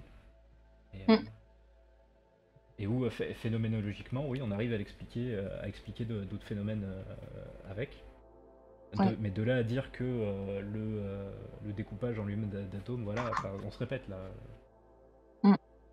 Bah, en fait, moi j'aime bien dire aux gens, prenez le point de vue d'une bactérie qui est au bord de, au bord de la table de billard ou au bord de l'objet, quoi. Est-ce qu'elle, elle trouvera pertinent, en fait, de dire qu'il y a un bord de billard J'en sais rien, en fait. Peut-être pas. Peut-être que pour elle, ça a aucun sens euh, à l'échelle où elle est. Euh, Peut-être que le bordure, ce qui nous apparaît comme un bordure, euh, nous, euh, bah, à son échelle, en fait, c'est comme passer de, je sais pas moi, d'une zone de turbulence météorologique à, un endroit où l'air il est calme. Ça veut dire qu'il y a pas, de- on fait pas cette différence. On dit pas qu'il y a un bordure là, par exemple, j'en sais rien. On, on fait pas une limite dans l'espace euh, quand on passe d'un air euh, agité à un air calme, par exemple. Euh, parce que ça nous, ça nous semble pas pertinent. Et puis c'est trop diffus. Et c'est vrai que nous, à notre échelle, bah, le, le bord du billard, il nous semble dur, mais il y a certainement des échelles à, à laquelle ça marche plus, en fait. J'ai pris la bactérie, mais on pourrait prendre de l'échelle de l'électron aussi. Ah ouais. Donc, voilà, c'est juste- en question. moi. L'électron, euh, Ouais. passe à travers la table. Donc euh, c'est pour ça, enfin, quand l'instrumentalisme, faudra qu'on discute un peu de, de la superposition entre l'instrumentalisme et relativisme peut-être, mais et, nom- et nominalisme aussi, parce qu'il y a des, c'est très proche tout ça, mais il doit y avoir des petites variations quand même entre les termes.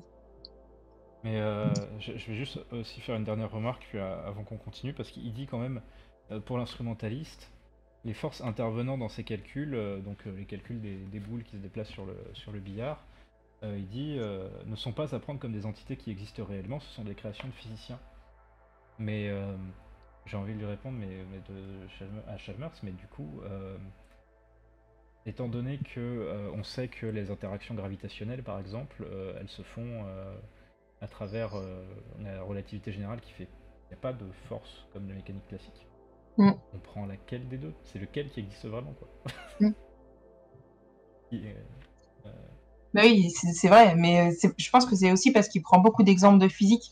oui. Et, euh, et du coup, euh, bah, en fait, euh, dès que tu sors de là, ça marche plus, quoi. Mais je veux dire, euh, mais oui, enfin, évidemment, euh, ça a l'air, tu caricatures vite, quoi. Mais pour lui, en fait, il y a une des deux qui est vraie et on trouvera laquelle à un moment. J'imagine que c'est ça, quoi. Je sais, ouais, ouais. C'est juste qu'on sait pas encore. On hésite.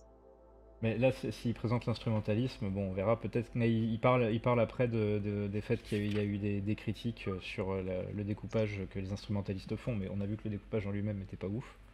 Mm. Tu le décris, donc. euh, Je propose qu'on avance un petit peu parce qu'il va peut-être honnêtement euh, présenter euh, des critiques Ouais. De ce qu'il vient de décrire. Ok. Qu'il existe dans le monde d'autres choses que des choses observables qui permettraient d'expliquer le comportement des choses observables ne concerne pas notre instrument- instrumentaliste naïf. Quel que soit son point de vue sur la question, ce n'est pas, pense-t-il, à la science d'établir ce qui peut exister au-delà du domaine de l'observation. La science ne fournit pas de moyens sûrs de jeter un pont entre l'observable et l'inobservable. Alors, là, je, Je parle du naïf, hein. on on parle je sais pas s'ils existent. non. Je sais pas parce que Tu là, ce qu'il est en train de décrire, en fait, ça s'appelle des empiristes plutôt. D'accord. Euh, Le seul moyen d'avoir de la connaissance, c'est de, regarder les, les états, enfin de, de Mm. partir de, ce qui est observable, euh, machin. Euh, moi, j'ai l'impression qu'il est en train de décrire l'empirisme, hein, plus que. Ok. euh, Mais c'est peut-être ça qu'il appelle l'instrumentalisme naïf. Oui. Déjà, il utilise instrumentalisme au lieu d'un autre mot. Il aurait pu utiliser nominaliste, par exemple. Parce que jusque-là, euh, ça colle aussi au niveau. Ouais. Ouais.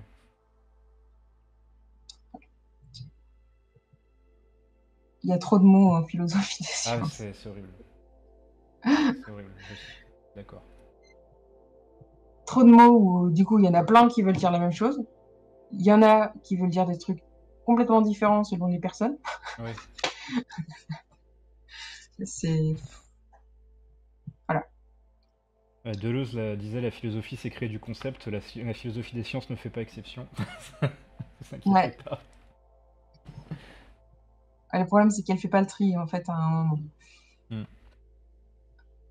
Bon, en vrai, c'est aussi parce qu'il y a des luttes politiques euh, sur les mots qu'on utilise. Par exemple, euh, nous, moi, j'aime pas trop qu'on utilise anti-réalisme pour les positions non réalistes. Donc, euh, du coup, forcément, ceux qui, il y en a qui utilisent ça et, et il y en a d'autres, par, par principe, ils vont pas l'utiliser. Et c'est bien qu'ils l'utilisent pas. déjà, c'est déjà ça. Ok, je continue. De nombreux matériaux pour critiquer cette variante naïve de l'instrumentalisme ont été présentés dans les chapitres précédents de ce livre. Peut-être la critique la plus fondamentale qu'on peut lui opposer tient à la forte distinction qui, que fait l'instrumentaliste entre ce qui relève de la théorie et ce qui relève de l'observation. Le fait que tout ce qui concerne l'observation est chargé de théorie a été longuement développé au chapitre 3. Les planètes, les rayons lumineux, les métaux et les gaz sont tous des concepts qui sont théoriques à un certain degré. Leur sens provient au moins en partie du système théorique dans lequel ils figurent. Ouais, il y a ça. Euh, il y avait ça aussi, c'est-à-dire que euh, l'interprétation qu'on a des concepts, elle est liée au, au système théorique dans Mm. lequel on les développe ces, concepts, ces concepts-là. Mais euh, ça veut dire quand même, parce que si, si on reprend la- le plan de son livre, euh, Mm. ça veut dire quand même qu'il fait un petit mélange entre, il disait, inductivisme et, et, mince, et de quoi il est en train de parler, et, instrumentalisme. Là, c'est ça qui est un peu gênant aussi. Ben, mais comme Mm. euh, il disait que l'inductivisme était une forme d'empirisme, ça, c'est cohérent là. Euh, mais euh, on, voit, on, voit, on voit bien où il met le- où il range l'instrumentalisme quoi.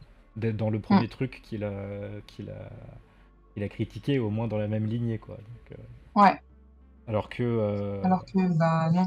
Ouais, on peut être instrumentaliste sans être ni inductiviste ni empiriste. Ouais. C'est pas la même chose. c'est ça. Bah après, peut-être qu'il va. Ouais.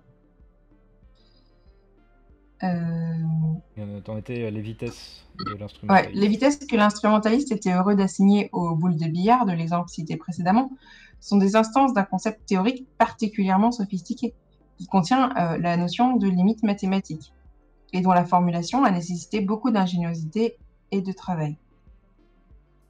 Même le concept de boule de billard contient des propriétés théoriques, comme l'individualité et la rigidité. Dans la mesure où les instrumentalistes partagent avec les inductivistes leur attitude prudente, qui les amène à euh, n'énoncer que ce qui peut être tiré en toute sécurité d'une base sûre d'observation, leur point de vue est miné par le fait que tous les énoncés d'observation dépendent d'une théorie et sont faillibles. C'est un argument mauvais là. Bah, euh, L'instrumentalisme naïf repose sur une distinction qui n'est pas adaptée à la tâche qu'elle est censée remplir. Oui, c'est ça. Il, recycle son, il recycle son, sa critique de l'inductivisme. Mm. Euh, donc effectivement, donc euh, vu que il faut être prudent d'après lui quand on est instrumentaliste naïf, on peut pas utiliser des concepts euh, du, du, moment qu'on admet que ils existent que, que, que, que, grâce à des théories dont on n'est pas sûr de la vérité. Donc si on est prudent, on les utilise pas du coup. C'est ce qu'il veut dire. Hmm. Mais euh, c'est assez pourri parce que je pense pas avoir déjà vu des gens défendre de ne pas utiliser des concepts à cause de ça. Et euh, là, on retombe sur les premiers objectifs qui se donnaient, euh, enfin qui se donnent en tant que, philosophe des sciences, c'est quand même justifier une certaine efficacité, on va dire métaphysique à l'application des sciences, quoi. ce, qui est, hmm. ce qui est le projet des réalistes, mais pas forcément ni des relativistes, ni des euh, ni des relativistes, ni des instrumentalistes. Le fait que la science fonctionne ou que les théories scientifiques fonctionnent à un moment donné euh, ne préjauge pas ou ne, justifie pas une quelconque supériorité euh, dans le cadre de l'épistémologie et de la production de connaissances. une, enfin, une, supériorité intrinsèque, quoi. Si tu vois ce que je veux dire. Euh, et euh, là, il montre que, ouais, bah, effectivement, si tu, te, si, tu, te, places dans le, dans le truc empiriste qu'il avait, dont il s'était déjà servi comme base pour faire, développer l'inductivisme, euh, et que tu mets derrière l'instrumentalisme qu'il place de fait comme la conclusion logique de ce truc-là, on va dire, ou l'évolution logique, ah bah ça marche pas. Bah ouais, mais ça, ça tombe bien, c'est pas le plan. Donc. oui. Le fait que les théories peuvent conduire à des prédictions nouvelles est embarrassant pour les instrumentalistes. Le fait que les théories supposées réduites à de simples dispositifs calculatoires puissent mener à la découverte de nouvelles sortes de phénomènes observables au moyen de concepts qui sont des fictions théoriques peut en effet leur apparaître comme un étrange accident. Bah non. Puisque les instrumentalistes fonctionnent avec euh, leurs théories et leurs objets en sachant très bien que des fois il y a des changements de paradigme. par exemple, qui font qu'on change de théorie et qu'en même temps on change de concept. En, fait, euh, l'argument qu'il est en train de faire là, c'est Ah oui, mais si tu as postulé par exemple l'existence de telle entité euh, mathématique et que cette entité elle a telle relation qui te permet de prédire telle propriété, ça veut, et que tu, ou de faire telle expérience dont tu prédis le résultat et que oh le résultat de l'expérience il colle avec ce que tu avais prédit, eh ben ça veut bien dire que le concept que tu as mobilisé doit bien avoir une base dans le, dans le monde de la réalité véritable, réelle, quoi. C'est ça leur argument. Alors que, ben, pas forcément. Oui, parce qu'on n'a pas dit qu'il n'y avait pas un paysage à décrire, hein, c'est ça le truc. Oui. Et... Toujours sur ça. Bon. Et, et, encore une fois, c'est pas euh, parce que euh, tu fais un, découpage opérationnellement pratique qui va te permettre de justifier des choses que tu pourras euh, que tu es pas capable de décrire des choses qui sont pas que t'as pas initialement décrites quoi. Oui ça qui est, euh, qui est bizarre comme argument. Quoi. Effectivement. Le développement de théories sur la structure moléculaire des composés chimiques organiques en est une belle illustration. L'idée que la structure moléculaire d'un composé, le benzène par exemple, est une série d'anneaux fermés d'atomes, fut proposée pour la première fois par Kekulé. Kekulé lui-même avait une attitude quelque peu instrumentaliste envers sa théorie et considérait ces anneaux comme des fictions théoriques utiles. De ce point de vue, le fait que ces fictions théoriques soient vues aujourd'hui presque directement à travers des microscopes électroniques doit être considéré comme une coïncidence remarquable. Et tu as raison, c'est ça l'argument. Hmm. De la même façon, les instrumentalistes partisans de la théorie cinétique des gaz ont dû être quelque peu interloqués en observant les résultats des collisions de leur fiction théorique avec des particules de fumée dans le cas des mouvements browniens. Euh, Euh, sur le coup de, de- des anneaux, juste, euh, si tu prends en fait, par exemple, Mhm. un appareil photo et que tu fais tourner un objet devant l'appareil photo et que tu prends une capture sur une durée, une capture photo mais pas instantanée, mais sur une certaine durée, tu, fais une longue, pau- Qu'est-ce une, que tu vas une- voir? une longue durée de pause, c'est ça le. Avec une, Oui. une longue ouverture de l'obturateur, tu vas avoir une grosse sphère. euh, tu vas avoir une sphère, Mm. tu vas avoir euh, une trajectoire. Donc, observer euh, les anneaux euh, dans un objet euh, Alors, qui fait des de- captures Mm. pour un truc qui tourne très très vite, Oui, Ça de- pourrait se de- Ça pourrait se faire. Mais l'histoire de Kikule, en fait, c'est pas tout à fait ça. Mm. Euh, pour expliquer, en gros, euh, c'est qu'à l'époque, on travaillait encore avec des, des ratios, on séparait les espèces chimiques. Euh, Enfin, on essaie de les isoler, et on comptait encore en, en- en ratio de, de masse. Donc, on connaissait en gros la masse de, de- du dioxygène, la masse du dihydrogène, et puis la masse de l'eau. Mm. Et on justifiait encore comme ça. Donc, la quantité de carbone, on avait tant de, tant de masse de carbone. euh, et on- euh, donc on, on savait par exemple euh, isoler certains hydrocarbures, donc euh, des chaînes de carbone avec des, des- des petits hydrogènes autour. Et on s'est retrouvé dans le cas du benzène, et le benzène on s'est retrouvé avec un problème parce que le ratio, on n'arrivait pas à refaire une, euh, un, un- un collage avec des petites, des petites molécules linéaires, parce que effectivement bah, le benzène ça fait des, des petits cycles comme ça. Euh. Et donc si, si les anneaux, enfin si les, les atomes de carbone ils sont liés entre eux et en plus ça fait euh, ils alternent double liaison et simple Mm. liaison, il y a que 6 hydrogènes qui sont autour de l'anneau de, de benzène. Mm. Et donc fallait expliquer le pourquoi pourquoi le ratio il nous disait que euh, on avait moins d'hydrogène que ce qui était prévu puisque on- Ah oui, d'accord. et, et Kekulé, il avait des raisons de, de, de, de considérer son truc comme un, un- un artefact opérationnel, parce que d'après ce qu'il raconte lui-même dans ses, dans ses mémoires, c'est que la structure, il a fini par trouver la solution, c'était effectivement que les atomes de carbone étaient connectés les uns aux autres en cercle, Ouais. et surtout il l'a trouvé dans un rêve, tu vois. il a rêvé du, du, du truc, il y, a, il y a un truc où il dit oui, euh, j'ai euh, j'ai rêvé d'un Ouroboros ou je sais plus quoi, et donc euh, il se trouve que ça marche. D'accord. Donc là, j'ai compris de quel genre d'anneau il parle. Effectivement, il faut Voilà. vraiment connaître euh, le truc. D'accord. Et oui, euh, Glitch confirme, soi-disant que la structure des molécules organiques était venue à Kikule en rêvassant, et que c'est en somnolant devant un feu qu'il voit celle cyclique du benzène. Ouais, euh, il y, a- il y a une histoire comme quoi il dit ouais j'ai vu un Ouroboros ou un truc comme ça. et, euh. Mm. Mais euh, effectivement, euh, Chalmers qui dit plus tard ah oui bah, il avait raison, donc euh, ça veut dire que le cercle de carbone il existe vraiment. Bah, C'est bien réel. bah, ce, ce à quoi j'ai envie de dire bah non il y en a pas en fait, on a juste une- un énorme nuage en forme d'anneau de Oui. d'électrons, nuages électroniques. euh, Mm. Et, et euh, Avec ouais, des enfin, avec des trucs qui s'attirent et qui se repoussent juste pour que ça fasse euh, des distances euh, spécifiques et voilà. et c'est, et tout ça qui est coulé. À peu près. ouais, et tout ça qui est coulé, il l'avait pas prévu. Hein, il connaissait pas la théorie quantique de la, de la liaison Ouais. chimique, donc euh, voilà. ni même euh, la théorie atomique, je crois que euh, quoique. Si, la théorie, il devait avoir une vague, une vague idée de la théorie atomique de Dalton, mais je sais plus exactement de la période. mais- Bref. Sur le mouvement brownien, tu voulais dire un truc?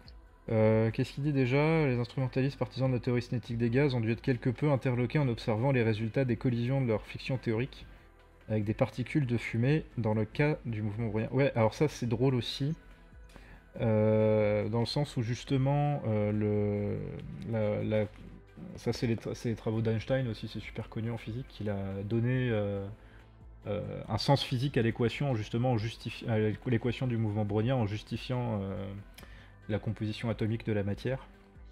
Et euh, moi, ce que j'aime bien, c'est justement, euh, y a, dans, dans Contre la méthode, je crois, euh, il y a Feyerabend qui en parle. Mhm. Et il dit, oui, euh, bah, euh, à l'époque, euh, les, les thermodynamiciens classiques, quand on a découvert le mouvement brownien, alors le mouvement brownien, c'est quand on avait euh, des, des, graines très légères de, plantes qu'on met, qu'on met dans l'eau, et puis on voit qu'elles gigotent comme ça en fonction de la, température de l'eau. Et euh, si on part pas du principe qu'il y a quelque chose dans l'eau, donc des petits atomes, poup, poup, euh, oui, parce qu'elle elle gigote de manière imprédictible dans tous les sens. C'est ça. Et, euh, si on part pas du principe que qu'il y a des atomes, et si on dit que l'eau, elle est, c'est un, milieu continu, on n'arrive pas à expliquer ça. Et euh, ça, ça, fait, ça, ça sous-entend qu'il y aurait euh, du mouvement généré spontanément. Et ça, c'est un peu gênant, notamment à cause du second principe de la thermodynamique qui dit que ça, c'est pas possible. Et euh, Feyerabend, à un moment, il revient là-dessus. Et euh, il, dit, il parle justement de l'approche, du problème que posait le mouvement brownien dans la thermodynamique classique. Oui.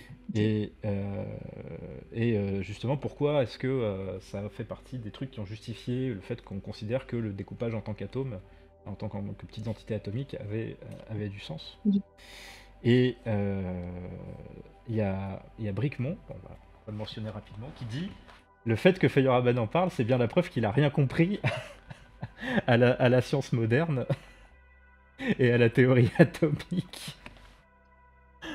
alors qu'il dit juste, alors que Feyerabend il se casait bien, et c'est assez clair dans le texte, il, parle bien de thermodynamique classique. Ouais. Et donc, en gros, c'est un problème que euh, même les plus relativistes des relativistes avaient compris. Mais quand ils en parlent, t'as le plus réaliste des réalistes qui vient leur dire mais en fait, ces gens-là, ils ont rien compris. Ils ont rien compris à la science comment ça marche. Donc, Aïe.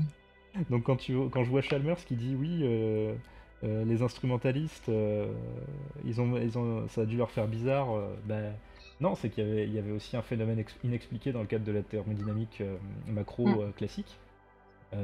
et on a dû élaborer aussi une théorie pour phénoménologiquement la justifier. Là, c'est parce qu'il fait, c'est parce qu'il fait une, une, confusion entre empirisme et, et instrumentalisme. Mm.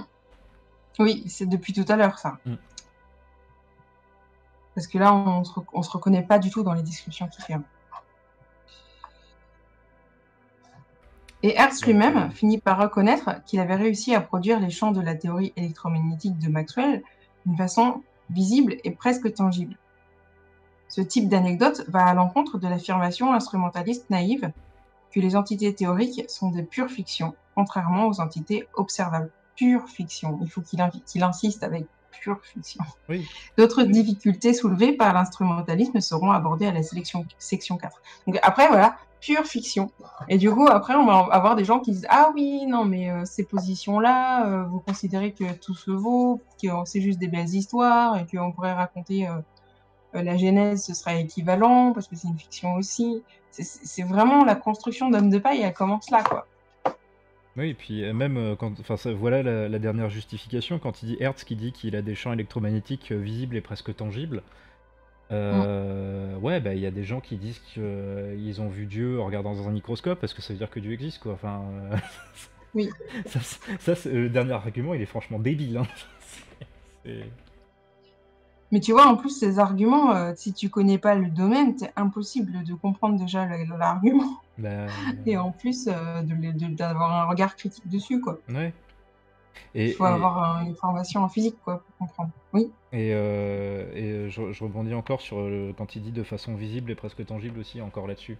je sais pas si t'as vu, il y a pas mal de gens aussi qui font genre des, des installations artistiques avec des antennes qui ont des genre des, petites loupiottes dont la, dont la hauteur varie en fonction de, des ondes Wi-Fi ou des ondes radio. Je, sais pas si tu as déjà vu ça. Non. Euh, mais, donc tu, mais donc tu peux, tu peux en faire des séries, euh, tu peux les mettre euh, par exemple sur une ligne et puis bah, tu peux voir des, voir des, des, ondes radio. En fait, ce que tu vois, c'est des, des loupiottes qui, qui, qui, montent et qui descendent. Les, gens, les, gens, te disent, ouais, ben voilà, c'est bien la preuve qu'il y a un champ magnétique, machin, machin. Bah, tu peux faire le, mhm. le, enfin le, on peut pinailler comme euh, pinaillaient les, les, mécaniciens quantiques en disant Ah non, moi je vois pas de trajectoire de particules, je vois juste des, euh, des, traces, des traces de brume dans les, dans les chambres à brouillard. Tu peux dire Non, non, moi je vois pas de champ magnétique, je vois juste euh, des, des loupiottes qui montent et qui descendent, en fonction de ce que prédit le calcul du champ magnétique, d'accord, mais. Oui. On n'a on a toujours pas de, champ, de manière de toucher ou de voir des champs magnétiques. De la même manière qu'on n'a pas de manière de voir ou de toucher des forces. Hein. Oui. Et oui, donc euh, derrière, quand il dit Ah ben, euh, s'il y a des gens qui étaient presque persuadés qu'on pouvait les toucher et autres, c'est bien que euh, ça existe, bah désolé, non, c'est pas un argument. ça n'est pas un argument. Et donc, ouais, quand il dit que c'est quand il s'en sort pour justifier, ah, ce sont des pures fictions, bah, hmm. il oublie que nous aussi, on essaye de. Les gens instrumentalistes, en tout cas, essayent aussi de décrire le fonctionnement de la science. Bah oui. Ce que tu dis. C'est voilà, c'est des descriptions qui, qui essaient d'être cohérentes avec euh, les observations quand même. de manière. heureusement, parce que je veux dire, euh, si des gens euh, qui, qui travaillent ensemble ont pas ces positions-là, enfin, je veux dire, il y, a des instrumentalistes qui travaillent avec des réalistes tout le temps si on si on n'a pas ce même ce même genre de conception, on pourrait pas travailler ensemble. C'est ça marcherait pas. Donc voilà, c'est la manière dont il décrit le truc, vraiment. Voilà quoi. bah écoute, ça loupe les nuances. Mais comme on est des experts nuanceurs. Hein, ah bah oui, ah oui j'ai un diplôme. Ça. Master 2 en nuances. Dans la mesure où les réalistes admettent la supposition que les entités théoriques de leur théorie correspondent à ce qui existe réellement dans le monde, ils sont plus spéculatifs, plus hardis que les instrumentalistes. Ils font preuve d'une moindre prudence et sont moins sur la défensive. Alors euh, là, personnellement, les gens réalistes que j'ai, les premières personnes réalistes que j'ai qui me viennent en tête, c'est souvent les gens pour te dire la science, ça fonctionne comme ça, alors tais-toi. Oui, c'est ça, c'est quasiment des réactionnaires de la science en fait. Alors en termes de, de défensive, euh, Ils sont très très sur les défensives, les réalistes que j'ai en tête. Hein, ouais, ouais, c'est clair. Mais bon, ils sont... À justifier l'existence de catégories euh, dont ils n'ont jamais remis en question la pertinence, je sais pas. Comment ça, vous remettez les catégories euh, hommes et femmes en question? Mais non, c'est la biologie. Pas du tout sur la défensive. Pardon. Ah là là. Nous pouvons donc nous attendre, en fonction de ce qui précède et de ce qui a été dit au chapitre 4 et 5 au sujet de la supériorité de la, vision falsificationniste sur la vision inductiviste, à ce que l'attitude réaliste soit plus productive que l'attitude instrumentaliste. alors du coup maintenant les, vraiment il fait l'assimilation instrumentaliste euh, induction euh, réaliste euh, falsificationniste quoi. Là c'est carrément de la malhonnêteté. Franchement là c'est carrément de la malhonnêteté intellectuelle à ce stade. Voici un exemple historique à l'appui de cet argument. Quelques contemporains de Copernic et de Galilée ont adopté une attitude instrumentaliste à l'égard de la théorie de Copernic. Osiander l'auteur de la préface de l'œuvre majeure de Copernic, Des révolutions et des orbes célestes, écrivait citation C'est le propre de l'astronome de colliger, par une observation diligente et habile, l'histoire des mouvements célestes, puis d'en rechercher les causes, ou bien, puisque d'aucune manière il ne peut en assigner de vrai, d'imaginer et d'inventer des hypothèses quelconques, à l'aide desquelles ces mouvements, aussi bien dans l'avenir que dans le passé, pourrait être exactement calculé conformément aux principes de la géométrie. Or, ces deux tâches, l'auteur les a remplies de façon excellente, car en effet, il n'est pas nécessaire que ces hypothèses soient vraies ou même vraisemblables. Vraisemblables, une seule chose suffit, qu'elles offrent des calculs conformes à l'observation. Alors, tu te posais aussi la question, mais colliger, ça veut dire euh, relier des, des abstractions en vue d'une synthèse ou réunir en un recueil. D'accord. Tu as été chercher la définition. Je suis allé chercher parce que je me. Je me... Moi non plus, je On apprend des choses sur ce Ouais. Je pense pas qu'on réutilisera ce mot cependant. Parce que du coup, personne ne comprend. Je, je vais, aller, voir Cloto et je vais lui dire Regarde, j'ai trouvé un mot rare pour, le, pour ces, euh, ces grands quiz de la langue française. Ah. Autrement dit, la théorie copernicienne ne doit pas être considérée comme une description du monde tel qu'il est réellement. Elle n'affirme pas que la Terre se déplace réellement autour du Soleil.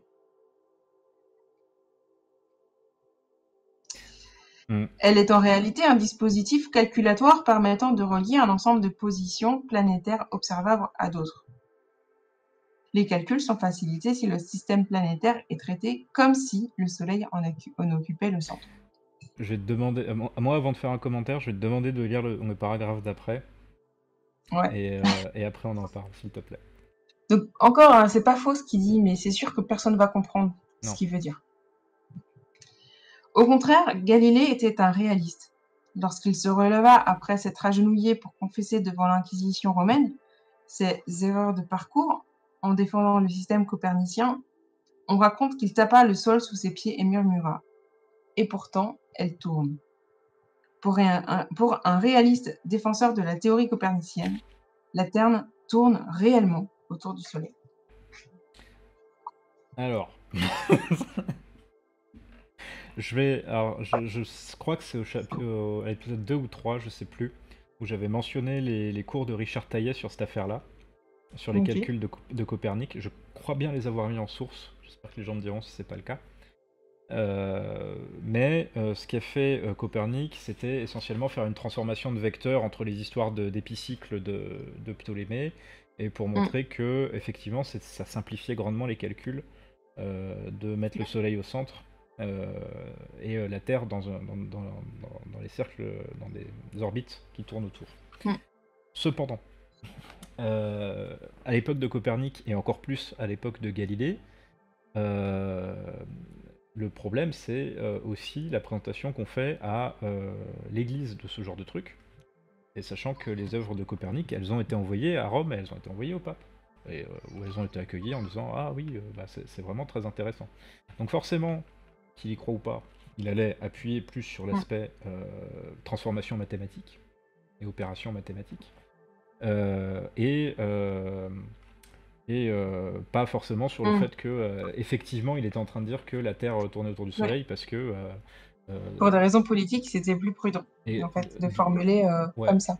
mais ces travaux, les travaux de Copernic en eux-mêmes n'ont pas été particulièrement euh, plus mal accueillis euh, avant que, Mm. avant, avant le- la contre-réforme et euh, la mise en avant du thomisme euh, en Italie, euh, notamment après, à l'époque de Galilée. justement. Et en fait, effectivement, l'idée que, que, le truc de Copernic était, était correct commençait à se répandre dans le paysage intellectuel, Mm. Enfin, qu'il y avait plus qu'une simple transformation mathématique. Euh, il y avait encore plein d'observations, on on il en a parlé en plus, euh, du fait qu'il y ait des gens Mm. qui disaient ouais on peut pas observer la parallaxe des étoiles à, à l'œil nu, euh, tout ça. C'était c'était un- un- un- c'était encore un débat, mais là il est en train de dire que Galilée était réaliste par rapport à la théorie de Copernic, et que Copernic et euh, Osiander qu'il présente étaient instrumentalistes, alors que là ce qu'il est en train de faire c'est euh, un truc anachronique. en fait. Ouais, c'est anachronique. Une Mais regarde la suite. La suite, il en parle du coup de la partie historique. Euh, sur, en disant sur euh, le, le- le paragraphe d'après, sur la page d'après, ouais. Ouais. Mais du coup, euh, effectivement, Ah, tu- tu- tu- du coup, il reconnaît la, la- la question politique, mais, mais il n'en tire pas les leçons qu'il faut. Juste avant de, avant de continuer, Ouais. ou alors j'attends la fin du, du paragraphe, ça, ça sera pas faux. Ah, Peut-être, ouais. Sachant que tu l'as mentionné là. Parce que là, ouais, ouais, comme du coup, c'est lié avec ce que tu dis. Les partisans d'Osiander ont de bonnes raisons de suivre la voie instrumentaliste. Ils sont plus sûrs ainsi d'éviter les controverses qui, font, qui ont fait rage entre les partisans de la théorie copernicienne d'une part et la chrétienté et les adeptes de la métaphysique aristotélicienne de l'autre. Les arguments de nature physique furent également opposés au système de Copernic, comme on l'a vu au chapitre 6, et l'interprétation instrumentaliste lui permit de se protéger de ces difficultés. Mais tu vois, du coup, euh, Non, Oui. Vas-y, vas-y. vas-y. euh, du coup, il fait comme si c'était une, une formule. Enfin, il admet que c'est une formulation en fait politique, et par contre, il rattache ça à des positions épistémologiques euh, plus profondes, quoi. Oui, et, et, euh, et surtout, il est en train de dire que l'interprétation instrumentaliste lui permet de se protéger de ses difficultés. C'est pas une interprétation instrumentaliste. Il n'est pas en train de dire euh, euh, que le. comment dire que euh, les, les transformations ma- mathématiques qu'il est en train de faire euh, sont des. Enfin, comment dire?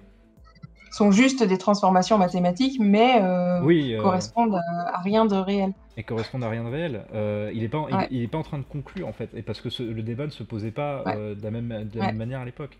Il se posait pas la question de la, enfin, et surtout à l'époque de, surtout Copernic. hein. Euh, Ouais.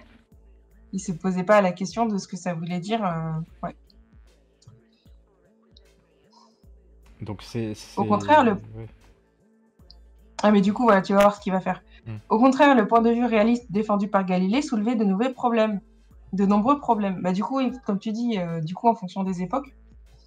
Et ce furent ces problèmes mêmes qui furent à l'origine du développement d'une optique et d'une mécanique plus adéquates. Ça c'est faux. Comme je l'ai montré plus haut, c'est l'attitude réaliste qui s'est avérée productive, au moins dans ce cas. Oh, le beau cherry picking. Montrer, même si la théorie de Copernic n'a pas su montrer, se montrer capable de surmonter ces inadéquations, on aura beaucoup appris sur l'optique et la mécanique pendant cette période.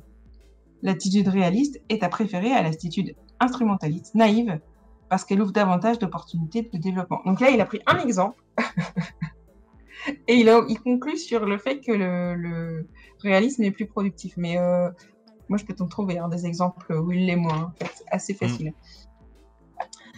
Incroyable. Et il y a Glitch qui a remis les vidéos de le cours de Richard Taillet dans le chat, c'est celui-là. C'est Cool. Ah, du coup, je vois plus du tout parce que c'est pas revenu. Hmm. Hmm, Je sais pas pourquoi. mais euh, c'est celui-là. Et euh, d'ailleurs, il, il ment parce que, euh, enfin, il ment.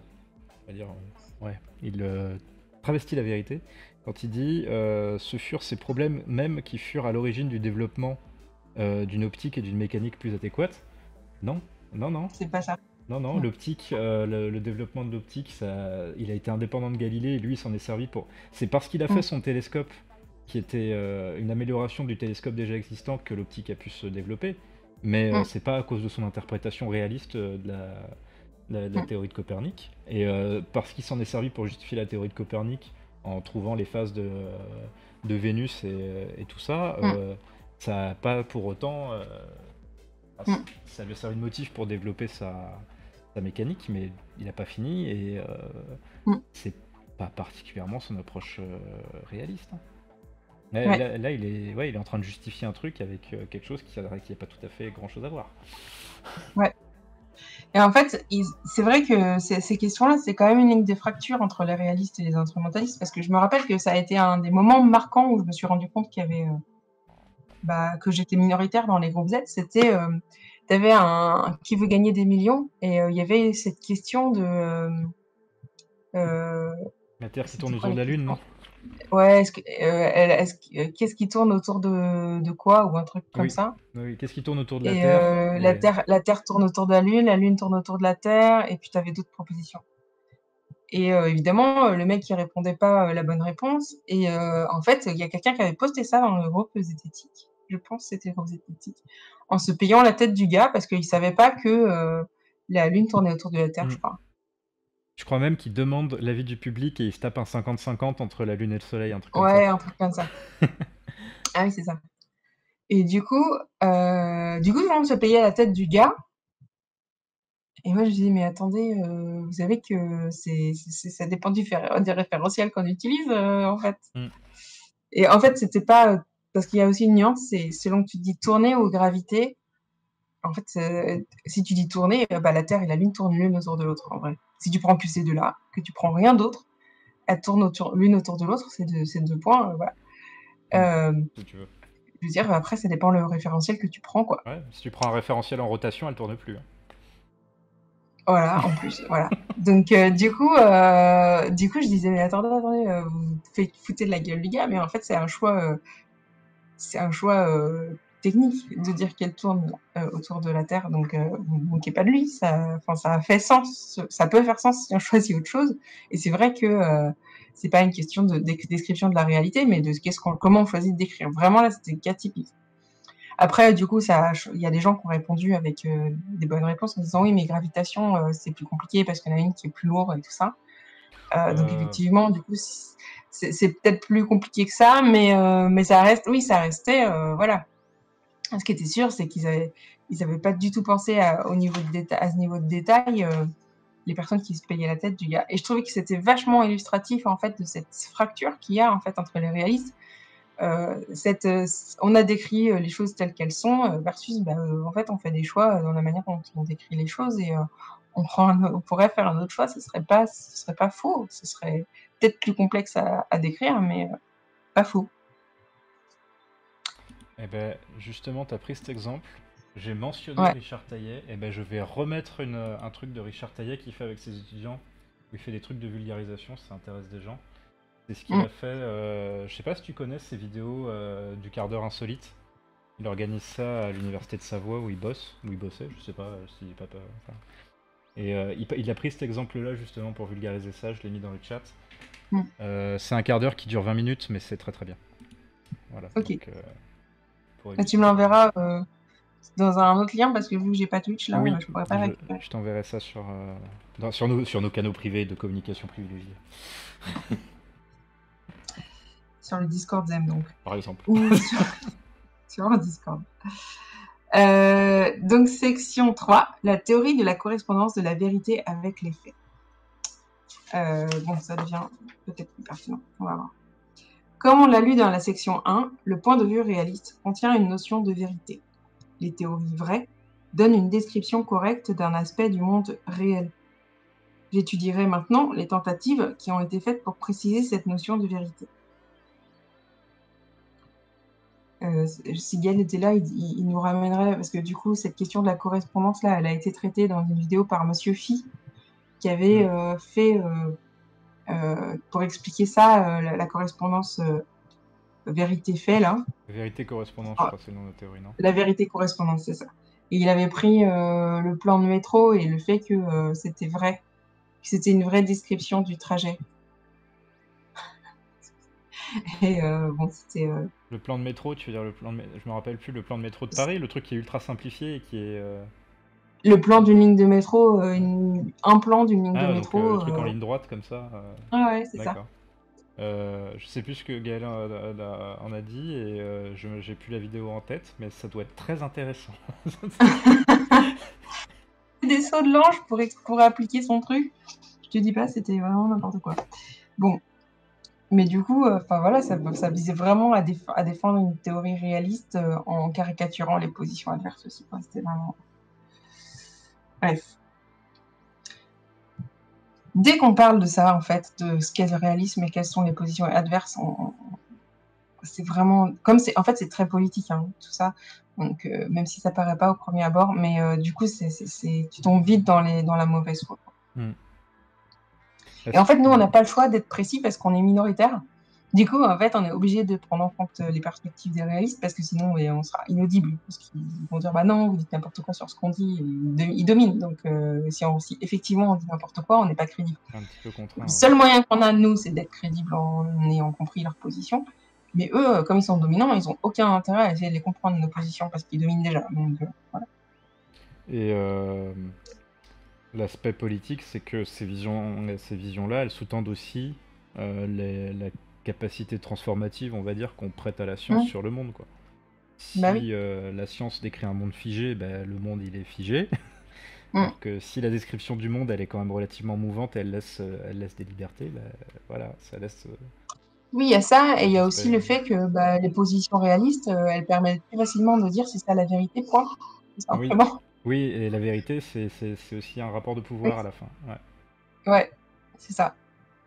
Si tu remets en question en disant: «Bah, on pourrait décrire autrement et ce serait plus pertinent», on me dit: «Bah, non, c'est ça, c'est de la subjectivité parce que ta description, euh, c'est la tienne», tu vois? Alors qu'en fait, c'est comme ça.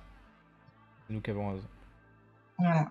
C'est comme ça. Ça permet de ne pas accepter des manières euh, de décrire le monde, parce que c'est ça l'histoire aussi, c'est que, ce qu'on a montré dans la partie 3 de biais idéologique, c'est que la question c'est, nous on considère tous les modèles sont faux, certains sont utiles, mais après la question que tu te poses derrière, la, question qui vient, c'est utile à qui Et en fonction de, euh, des personnes, on n'a pas les mêmes utilités qu'on va prioriser. Mm. Donc du coup, quand euh, tu dis, bah ouais, mais on pourrait l'écrire comme ça, euh, ce serait utile pour ça, ça, ça, on te dit, bah non, c'est subjectif, tes, motivations politiques d'utilité, là, bah c'est subjectif, la vérité, c'est ça. Alors que l'alternative aussi, en fait, elle défend des utilités spécifiques et situées politiquement. Mais là, c'est un peu technique, donc je vais m'arrêter. Allez voir la partie 3 de la série biéidéologique. C'est plus expliqué. Boum. Euh, Donc, j'étudierai maintenant les tentatives qui ont été faites pour préciser cette notion de vérité. Sans l'argumenter ici, je considère que ce que l'on appelle la théorie de la correspondance de la vérité avec les faits est la seule qui peut prétendre à une notion de vérité conforme aux exigences du réalisme. Et je me restreindrai à présenter et à critiquer cette théorie. L'idée générale d'une théorie de la correspondance de la vérité avec les faits semble suffisamment parlante et peut être illustrée par des exemples du sens commun, d'une façon qui la fait apparaître presque triviale. Selon cette théorie, une phrase est vraie si elle correspond aux faits. Ah oui, c'est presque trivial, c'est même genre euh, totalement trivial. Ainsi, la phrase Le chat est sur le tapis est vraie si elle correspond aux faits, c'est-à-dire à la situation d'un chat qui se trouve effectivement sur le tapis. Alors que la phrase est fausse s'il n'y a pas de chat sur le tapis, ou s'il n'y a, il dit pas, mais ou s'il n'y a pas de tapis, ça marche. non, effectivement. Une phrase est vraie si les choses sont telles qu'elle le dit et fausse dans le cas contraire. On, est tous d'accord. Hein. Une difficulté soulevée par la notion de vérité est la facilité avec laquelle elle peut mener à des paradoxes. Ce que l'on appelle le paradoxe du menteur en fournit un exemple. Si je dis je ne dis jamais la vérité, et si ce que je dis est vrai, alors ce que je dis est faux. Un autre exemple bien connu est celui d'une carte. Sur l'une des faces est écrit la phrase écrite sur l'autre face est vraie. Et sur l'autre face, on lit la phrase écrite sur l'autre face est fausse. Il n'est pas difficile de voir que dans cette situation, on peut arriver à la conclusion paradoxale que chacune des, des phrases de la carte est à la fois vraie et fausse. Ouais, c'est euh, ça, c'est des, histoires de propositions indécidables. Hein. Il va, il va élaborer là-dessus et euh, euh, j'ai l'impression qu'on va effectivement retomber sur, j'imagine le genre de truc que M. Phi a pu présenter aussi pour illustrer la théorie de vérité correspondance. Hein. On va voir. Ah, je te dirai. Pour l'instant, il n'a pas parlé de ces, ces paradoxes, je crois pas, ça me dit rien. Le logicien Alfred Tarski a montré comment on peut éviter les paradoxes dans un système linguistique particulier. Le point crucial de sa démonstration tient à la distinction que l'on doit soigneusement et systématiquement opérer lorsqu'on parle de la vérité ou de la fausseté dans un système linguistique entre le langage-objet, constitué des phrases du système linguistique soumises à l'analyse, et le métalangage, formé par des phrases du système linguistique avec lesquels on partage du langage-objet. On parle du langage-objet. On parle du langage-objet. Mmh. Pour revenir au paradoxe de la carte, en termes de la théorie de Tarski, nous devons décider laquelle des deux phrases appartient au système linguistique sur lequel on parle et laquelle appartient au système linguistique avec lequel on parle. Si l'on considère que les deux phrases de chaque côté de la carte relèvent du langage-objet, on ne peut plus les considérer comme ces référents l'une à l'autre. Si l'on adopte la règle selon laquelle chacune des phrases doit être dans, soit dans le langage-objet, soit dans le métalangage, mais non les deux, de sorte qu'une phrase ne peut à la fois se référer à l'autre et être référée par l'autre, alors il n'y a plus de paradoxe. Hmm, ça m'a l'air euh, d'être... Euh, ouais, c'est tordu dans le sens où il dit qu'en gros, euh, il y a des y a des propositions qui parlent de choses qui sont en dehors du langage et donc du monde, mm. voilà, et il y a des propositions qui, qui s'appliquent au langage lui-même. Mm. Ah, genre la phrase est vraie, c'est effectivement une phrase. Donc elle est vraie parce qu'il y a une phrase. Oui. genre, euh, si je dis. Euh, oui, euh, en gros, sur les coups des cartes, il y en a une, il y a une, il y a une des, deux phrases qui parle de la phrase de l'autre côté, mais la phrase de l'autre côté qui parle pas, qui parle d'autre chose, quoi. quelque chose comme ça. ouais. Et j'imagine que par métalangage, ouais, euh, ce qu'il appelle le langage objet, c'est ça, c'est les éléments qui constituent le langage, et le métalangage, c'est euh, ce que le langage qu'on essaie de traduire avec ces éléments-là. Donc le fait de parler de, trucs qui sont en dehors du langage. Euh, non mais jure, tu pourrais avoir c'est une vraie phrase dans le, dans le même sens que ceci n'est pas une pipe pour le tableau. Ouais, ouais c'est un peu, un peu le même genre d'idée, mais là c'est C'est un peu, euh, ouais, c'est un peu de, c'est un peu de la masturbation intellectuelle euh, pour euh, résoudre le paradoxe, quoi, mais et faire, et faire caler ça dans, dans le- la théorie de la vérité correspondance. Mais c'est une manière de résoudre, effectivement. Oula, les Ouais. Ouais, c'est clair. C'est expliqué. Une idée clé de la théorie de la correspondance de Tarski est donc que pour parler de la vérité des énoncés d'un langage, nous devons faire appel à un langage plus général, le métalangage, au sein duquel nous pouvons nous référer à la fois aux phrases du langage objet et aux faits avec lesquels ces phrases du langage objet sont censées correspondre. Ah oui, Ce fut une, ce que j'ai dit, mais c'est pas grave. Ok. Ce fut une nécessité pour Tarski de réussir à montrer comment développer systématiquement la notion de correspondance de la vérité avec les faits pour toutes les phrases du langage objet de façon à éviter les paradoxes. Ça, c'est du réalisme engagé, quoi. ah, les mecs, ils vont au bout, hein. Allez, bon, bon. Juste pour résoudre, le, pour résoudre leur truc, pour que ça marche. C'est ça. Ça- C'est dans une niche euh, totalement étroite, mais euh, mais il faut que ça marche. Ils participent à la grande œuvre de la déparadoxisation du, du réalisme. Bah oui. bah, Il faut, faut bien justifier les lettres de noblesse de la science. hein. C'est ça. On est sérieux ici. Il s'agissait là d'une tâche techniquement difficile, car tout langage digne d'intérêt possède une infinité de phrases. Oui, je fais- c'est super drôle en fait. C'est le mec qui s'est mis dans une infinite loupe de trucs complètement inutiles. Mais bon, ok. Bah, faut, faut, faut reconnaître la beauté de l'exercice quand même. C'est- Ouais, ouais, ouais. c'est- de l'art en fait. Il y a un côté artistique. Hein. toujours un côté artistique dans la science. Ouais. Ça, C'est ce que les. Tarski atteignit son but pour les langages contenant un nombre fini de prédicats isolés, comme est blanc ou est une table. Il considère comme donné ce qui signifie pour un prédicat d'être satisfait par un objet X. Et- C'est productif. Lui a dit le réalisme, c'est productif. Ah ouais. Ouais, en, en gros, c'est le même genre de boulot qu'a fait, euh, fait Wittgenstein à une époque. Et euh, quand il est revenu, euh, et après, il a dit voilà, j'ai plié le game de la philosophie. Et quand il est revenu à la philosophie 20 ans plus tard, il a dit ouais, en fait, ce que j'ai fait, c'est de la merde. je, je résume, c'est comme ça qu'on aime bien le résumer, mais c'est le même genre de truc où, euh, en gros, on, dit, euh, on arrive à définir un ensemble de règles. euh, pour un ensemble de problèmes en se disant qu'on a résolu tous les problèmes et puis après quand on se rend compte qu'il y en a d'autres qu'on n'a pas réussi à résoudre on revient en disant non non mais arrêtez arrêtez de réfléchir à ce que j'ai fait c'est insuffisant et bah, Des exemples du langage Ouais. Des exemples du langage de tous les jours paraissent triviaux. Ainsi, le prédicat est blanc est satisfait par l'objet X si et seulement si X est blanc. Et le prédicat est une table est satisfait X par X si et seulement X est une table. je suis d'accord avec ces deux phrases c'est trivial On ne sait pas ce qu'est une table, mais bon, c'est pas non grave. non mais c'est pas La grave notion de... La. Mais c'est incroyable comment il loupe le, le, le, le, point. mais là il explique donc euh, La notion de satisfaction étant acquise par, pour tous les prédicats d'un langage?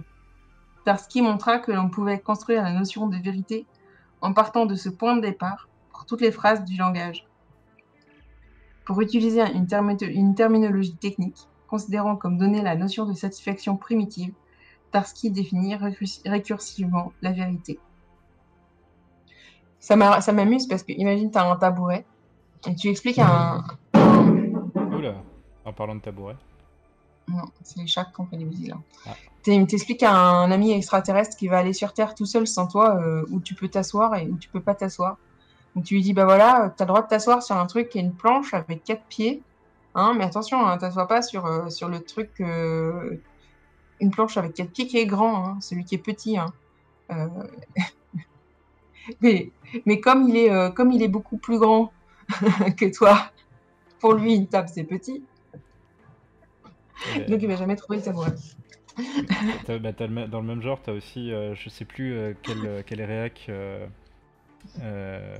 ça- ça- quel réac avait, on avait demandé, ouais, est-ce que tu peux définir ce qu'est une chaise?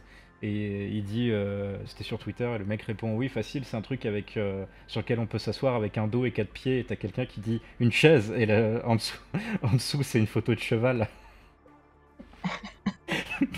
tu peux t'asseoir- Moi, j'imaginais un, humain à quatre pattes aussi, ça marche. Ça marche aussi, ouais, mais. Mais oui, c'est ça. Donc, du coup, a- c'est- bien son exercice, mais euh, tant que t'as pas défini ta table, tu sais pas si c'est vrai ton truc, quoi. euh, Bon. mais parce que là, ouais, il dit vraiment, euh, ouais, la, la propriété euh, est une table est satisfaite par x si x est une table. D'accord, ok, ça nous avance beaucoup. Voilà, c'est ça. D'un point de vue théorique, c'est beau. D'un point de vue pratique, on a avancé à rien du tout.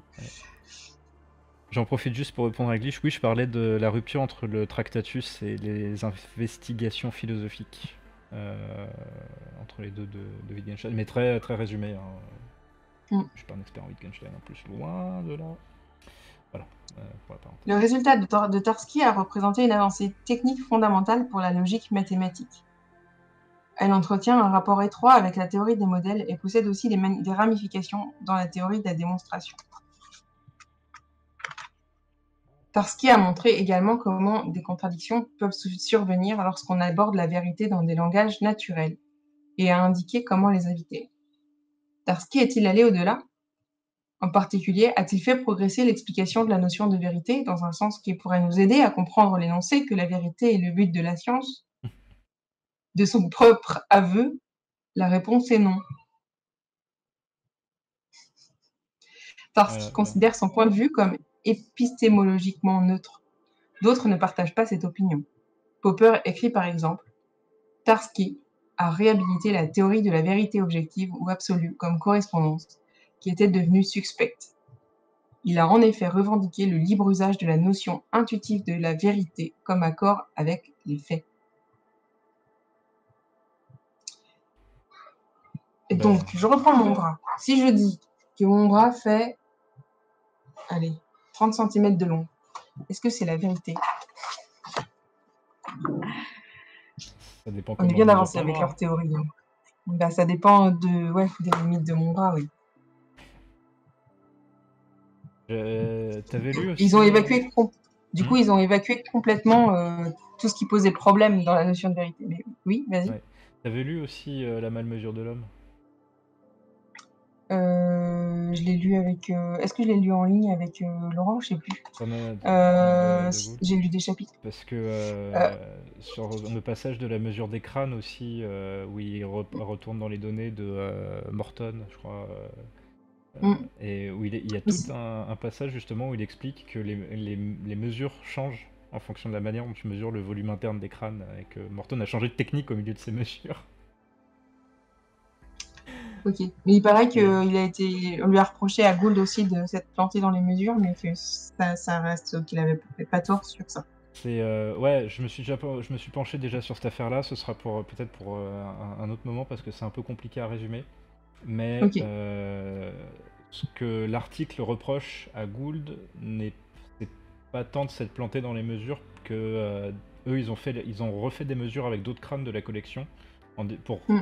Pour euh, garantir les conclusions de Morton.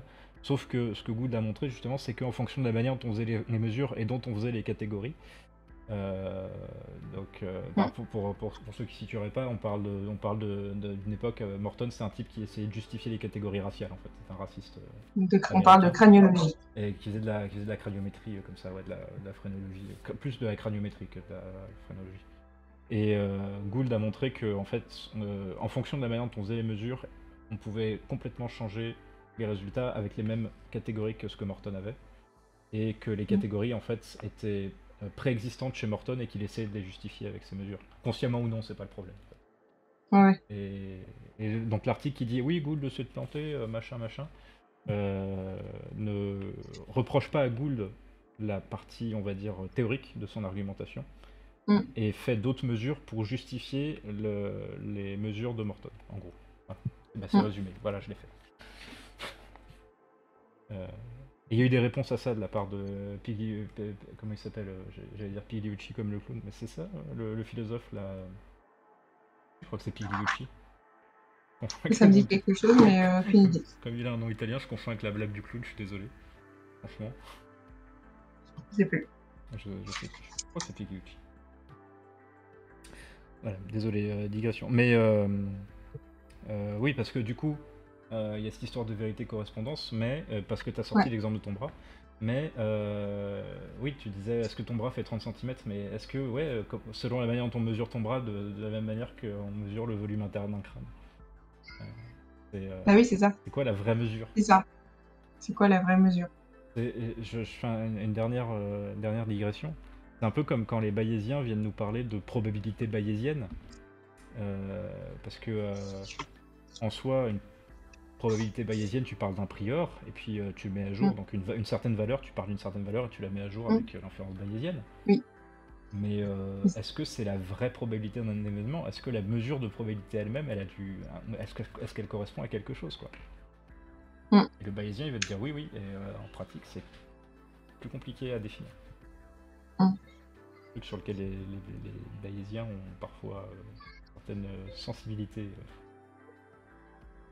Même chez les fréquentistes, même chez les fréquentistes, il y a une tendance à, trop croire dans la réalité de leur probabilité.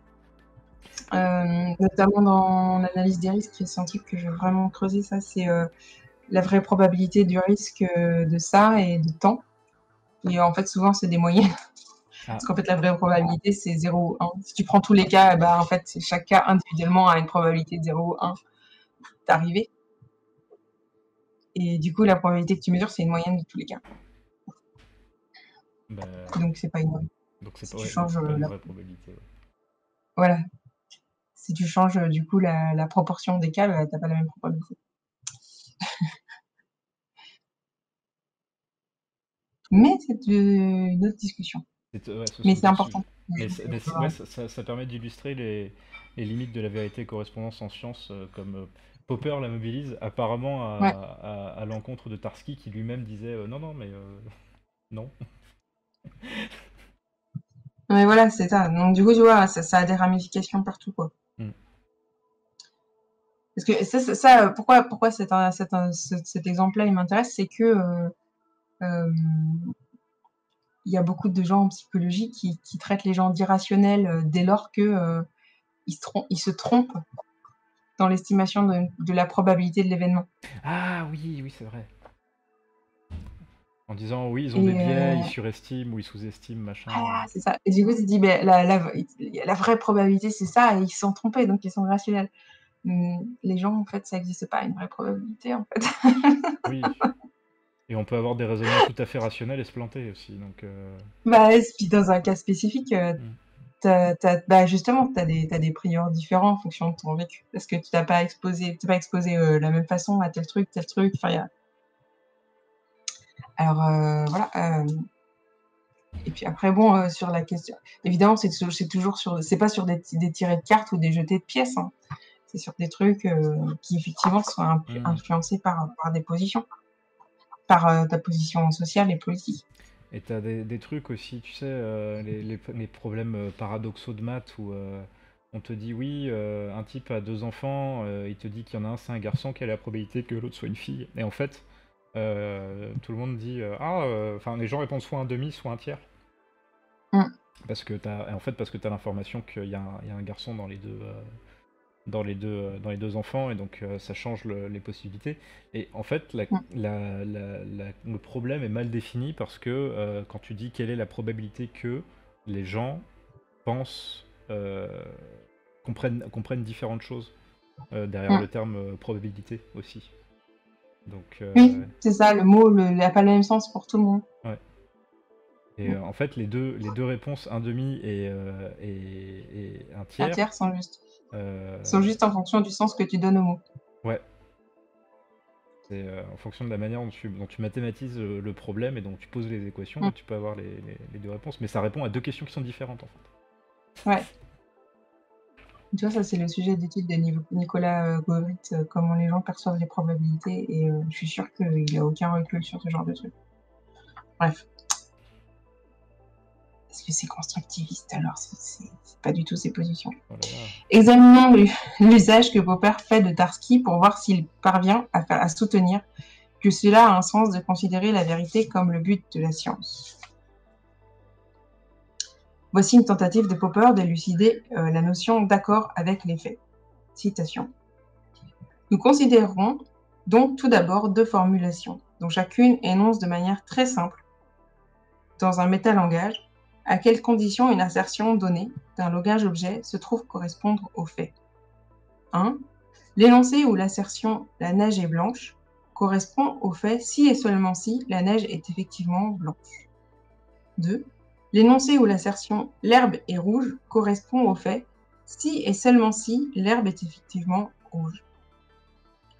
Voilà tout ce que Popper a à nous proposer lorsqu'il tente de formuler le sens de l'assertion qu'une affirmation scientifique est vraie ou qu'elle correspond au fait. Les formulations 1 et 2 de Popper sont si manifestement évidentes qu'elles relèvent simplement de la pédanterie de philosophe. bah, c'est surtout que c'est de la pédanterie de réaliste, hein. désolé. Hein. Ah, eh, ça, va pas plus loin que ce que proposait euh, Tarski en disant voilà, euh, X mm. est blanc si X est blanc, quoi. Alors, il, doit, y avoir, je, pense quand même qu'il doit y avoir des petites subtilités qui passent à la trappe dans la vulgarisation de Chalmers. Mais ah. euh, la manière dont il présente le truc, euh, c'est pas très, euh, c'est pas très vendeur, hein, la vérité. C'est un peu, oui. Ouais, c'est ça. Ça, ça, pas vraiment, ça donne pas le sentiment d'apporter un truc super intéressant, quoi. Et surtout parce qu'en fait, ça répond pas au problème que ça veut résoudre, quoi.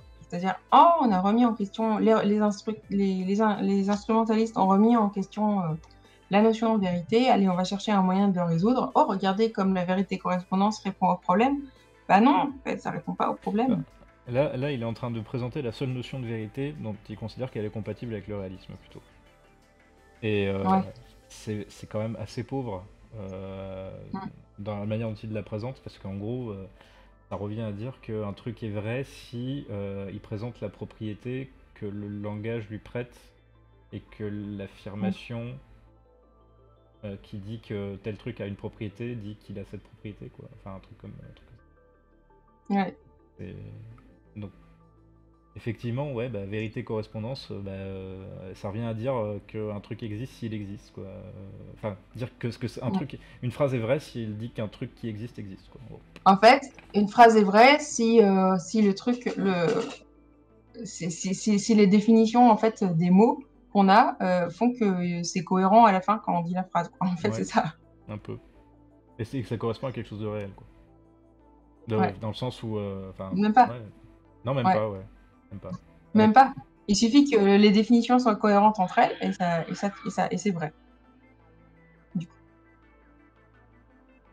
en fait, en vrai, bah, en pratique. T'as quand, même, as quand même une question de, perception des propriétés des objets, quoi, à la fin. Oui, c'est vrai. Indépendamment des observateurs, hein, parce que c'est vrai s'il n'y a pas d'observateurs. C'est ça qui, c'est ça qui est un peu euh, ok. bon, ok. Ni de bactéries. Ni de bactéries, ni rien. Il n'y a pas de vivant. Il a que Observatrice, rien. Euh, donc, Attends, parce qu'après, section 4, il y a les problèmes que ça va soulever. Euh, ouais. Les exemples qu'offre Popper sont tirés du discours quotidien, du sens commun. La vérité, selon Popper, consiste essentiellement en l'appareil de Tarski, plus la notion de sens commun de la vérité. Or, il est clair que la vérité entendue en, en sens commun a bien un sens et un champ d'application, car s'il n'en était pas ainsi, cette notion ne figurerait pas dans notre langage et nous ne serions pas capables, par exemple, de faire une distinction entre la vérité et le mensonge. C'est parce que nous disposons bel et bien d'une notion commune de la vérité que les phrases 1 et 2 de Popper, dans la citation ci-dessus, semblent évidemment et trivialement correctes. La question essentielle qui se pose alors est la notion de vérité au sens commun est-elle celle qui convient pour donner un sens à l'affirmation que la vérité est le but de la science? Dans la section suivante, je, je montrerai que la réponse est négative. Euh, juste un truc, il dit euh, ça marche parce qu'on fait la distinction entre la vérité et le mensonge et qu'on reconnaît la vérité. Euh, en vrai, c'est aussi parce que c'est plutôt qu'on reconnaît ce qui est faux. Ce qui est effectivement C'est-à-dire, on peut. Oui. Hmm. C'est-à-dire, on est, on, est, on, est, on est capable de dire ce qui est faux. Ça ne correspond pas. Ensuite, il y a le reste. Est-ce qu'on perçoit que ça correspond avec les éléments qu'on perçoit? Et ça, eux, ils appellent ça vrai, et nous, ça, on appelle ça euh, vérité possible. mais euh, pas vrai. Parce qu'il y a des trucs qu'on ne perçoit pas. Euh. Ouais. Et ouais. Et On va, parce qu'on on va, voir, on va voir ce qu'il en dit par rapport à la, la, distinction entre vérité correspondance et vérité au sens commun, quoi. Mais c'est ça, c'est ça au final. Pour, pour, resituer le problème, il dit on cherche à justifier la prétention de la, à la vérité de la science. là, on a une définition qui semble coller avec l'approche réaliste. Est-ce qu'elle colle avec euh, la, vérité au sens commun? Alors, on va voir. Il dit que, lui, il dit que non. Donc, euh, bon, bah, ça fout un peu tout par terre. Heureusement, parce qu'on n'était on pas super d'accord. Euh, et puis, ça, change. On profite juste aussi pour dire que la prétention à la vérité de la science, ça, c'est, on, le dit depuis le début. Hein. ça, c'est lui qui, dit que c'est l'objectif de la science. Hein. Oui. Donc, on peut ne pas être d'accord avec cette, cette volonté-là. Hein. Ouais. Problème soulevé par la notion commune de vérité. C'est la section 4. Avant d'aborder les problèmes que pose l'application euh, à la science de la notion commune de vérité en tant que correspondance avec les faits, je souhaite écarter une objection que je considère comme un malentendu. Si on me demande à quoi euh, correspond un énoncé tel que le chat est sur le tapis, je me sens tenu, à moins de refuser de répondre, de proposer un énoncé. Je répondrai que le chat est sur le tapis correspond à la situation du chat qui se trouve sur le tapis. Certains y objecteront par l'argument que j'ai en tête, à savoir que par cette réponse, je n'établis pas une relation entre un énoncé et le monde, mais entre un énoncé et un autre énoncé. Le fait que cette... Ah bah oui, c'est ce qu'on disait, la cohérence entre les définitions. Mm. Le fait que cette objection mène à une impasse peut être montré en utilisant une analogie. Si j'ai une carte de l'Australie et que l'on me demande à ce à quoi la carte fait référence, je répondrai l'Australie. Je ne veux pas dire par là que la carte se réfère au mot Australie. Mais si on me demande à quoi la carte fait référence, je dois donner une réponse verbale. Pour moi, au moins, l'affirmation que le chat est sur le tapis se réfère au chat se trouvant sur le tapis et parfaitement, est parfaitement intelligible. Et du point de vue du sens commun, au moins, trivialement, correct. Je vois pas ce que lui sert l'Australie, mais euh, ok. Non, c'est juste pour dire que en gros, euh, les propositions sont découpables en mots et que ces mots se réfèrent en pratique effectivement à des objets qui ne sont pas les mots en eux-mêmes, quoi. Quand il dit le chat est sur le tapis, euh, il dit que effectivement il y, a un truc qui s'appelle le chat et qu'il y a un truc qui s'appelle le tapis et qu'il y en a un qui est au-dessus de l'autre. Et que le fait de dire ça, c'est pas redéfinir une, une, nouvelle proposition qui viendra justifier que le chat est sur le tapis. Ça vient, euh, ça vient avec un, bagage d'observations potentielles qui font que si tu tournes la tête vers le dit tapis, tu verras un truc que tu appelleras un chat dessus toi aussi. Tout ça pour ça. oui. Oui, donc c'est ce que tu disais, euh, il y a quand même une notion de retour à la réalité dans, ça et c'est pas juste une accord de définition. Bah, oui, le, ça c'est le côté, le côté correspondance de la vérité correspondance. Quoi. Ouais. Euh, je voudrais après m'être débarrassé. Ouais. Je disais juste que, ouais, comme il le dit, c'est trivialement correct. Mais euh, c'est trivialement. Ça, c'est comme, comme on dit depuis le début. Euh, pour quelqu'un d'instrumentaliste, ça pose pas de problème. Mais les réalistes ou les gens qui essaient de faire des trucs un peu plus métaphysiques ou voilà, ils mettent tout ça sur le tapis jusqu'à ce qu'on leur dise oui, mais à quel moment vous redécrivez le réel? Bah, Ils disent maintenant. Ah oui, mais avant vous disiez pas. c'est un peu ça quoi. Ah. Je sais pas si tu vois ce que je veux dire. Non. Qu'en gros, là, il rejustifie euh, que à la fin, euh, ce, qui fait, ce qui sert de juge de paix, c'est le fait d'avoir des, d'avoir des, propositions qu'on peut observer, enfin, mm. qu'on peut justifier par des observations. Oui, mais quand on sort de trivial, en fait, on peut plus, euh, on peut plus vérifier. C'est ça ce que tu veux dire? Oui, et surtout qu'eux, ils essayent de faire un truc plus abstrait et extrait du mm. réel. Et à la fin, bah, pour revérifier, pour justifier leur position, bah, ils, retombent quand même sur le, ce qu'ils reprochent aux instrumentalistes de faire. Oui. Oui, c'est ça. C'est un peu ce que Sigel y reproche à, au, livre de Breckmont et, et, Sokal euh, avec leur argument de la tasse à café du matin. Ça veut dire qu'ils prennent. Euh, c'est un argument qu'on utilise sur lequel on revient souvent. Mais, euh, ils disent oui, quand, quand, quand je dis que j'ai bu du café dans ma tasse ce matin, c'est vrai, ça fait pas être bolémique. j'ai bu du café je le sais, euh, enfin, je veux dire, il ne faut pas ergoter 36 000 heures euh, pour dire que c'est compliqué de décrire la réalité, quoi. Sauf que ils disent ça pour argumenter sur des questions de science, quoi. Oui. qui sont justement pas celles du description du quotidien. Quand je dis euh, j'ai mangé une pomme, bah, ça fait pas des débat, c'est une vérité, et puis point, mais j'ai pas fait de la science. Et pareil, quand ils disent qu'ils ont bu du café dans leur tasse, s'il y a des sciences, c'est justement parce qu'il y a des phénomènes non triviaux qu'il faut observer et décrire, quoi. Et, le café du matin, tout le monde s'en fout. Donc, euh. Bah oui. C'est là où on est. Quand, c'est trivial, ça va, mais dès que c'est plus trivial, ben, ça marche plus. Leur argument, il, il, est plus valable, en fait. Et donc, c'est un argument. Euh, je ne sais pas s'il est de mauvaise foi ou s'il est stupide, mais. Euh, en tout cas, il est mauvais. Oui. Je voudrais, après m'être débarrassé de cette fausse objection contre la théorie de la correspondance, aborder un point qui lui est lié. Au sein de la théorie de la correspondance, nous devons pouvoir nous référer dans, méta, dans le métalangage aux phrases d'un système linguistique ou d'une théorie et aux faits auxquels ces phrases peuvent éventuellement correspondre. Cependant, nous ne pouvons parler des faits auxquels une phrase est censée se référer qu'en utilisant exactement les mêmes concepts que ceux qui sont contenus dans cette phrase. En disant que le chat est sur le tapis, fait référence au chat qui se trouve sur le tapis, nous utilisons deux fois le concept chat et tapis. Une fois dans le langage objet et une fois dans le métalangage. Pour nous référer aux faits, pour nous référer aux faits. On ne peut parler des faits auxquels une théorie fait référence et auxquels elle est censée correspondre qu'en utilisant les concepts de la théorie elle-même. Les faits ne nous sont pas accessibles et on ne peut en parler sans référence à une théorie. Oui, donc comme tu disais, il retombe sur ce qu'il reprochait aux, instrumentalistes quand il disait que euh, il devrait être prudent, il se prétend prudent, il ne peut pas utiliser des concepts indépendamment de la théorie. Et là, on a le problème exactement avec le réalisme. Alors que ce n'était pas un problème en vrai avec les. C'était juste lui qui disait que c'était le cas, mais c'est pas le cas. Si les théories physiques visent à correspondre aux faits, alors les correspondances concernées diffèrent sensiblement de celles que nous avons évoquées à propos, des chats sur le tapis. Sur les tapis. C'est ce que montre clairement Roy Bascar. Roy, Bascar, je pense. Roy Bascar, dans son livre Realist Theory of Science. Bascar euh, écrit en effet que les lois et les théories scientifiques ne peuvent être analysées comme expression de relations entre des séries d'événements, ce que font nombre d'empiristes. La seule interprétation correcte des lois scientifiques est de les considérer comme l'expression de conjonctions constantes d'événements de la forme.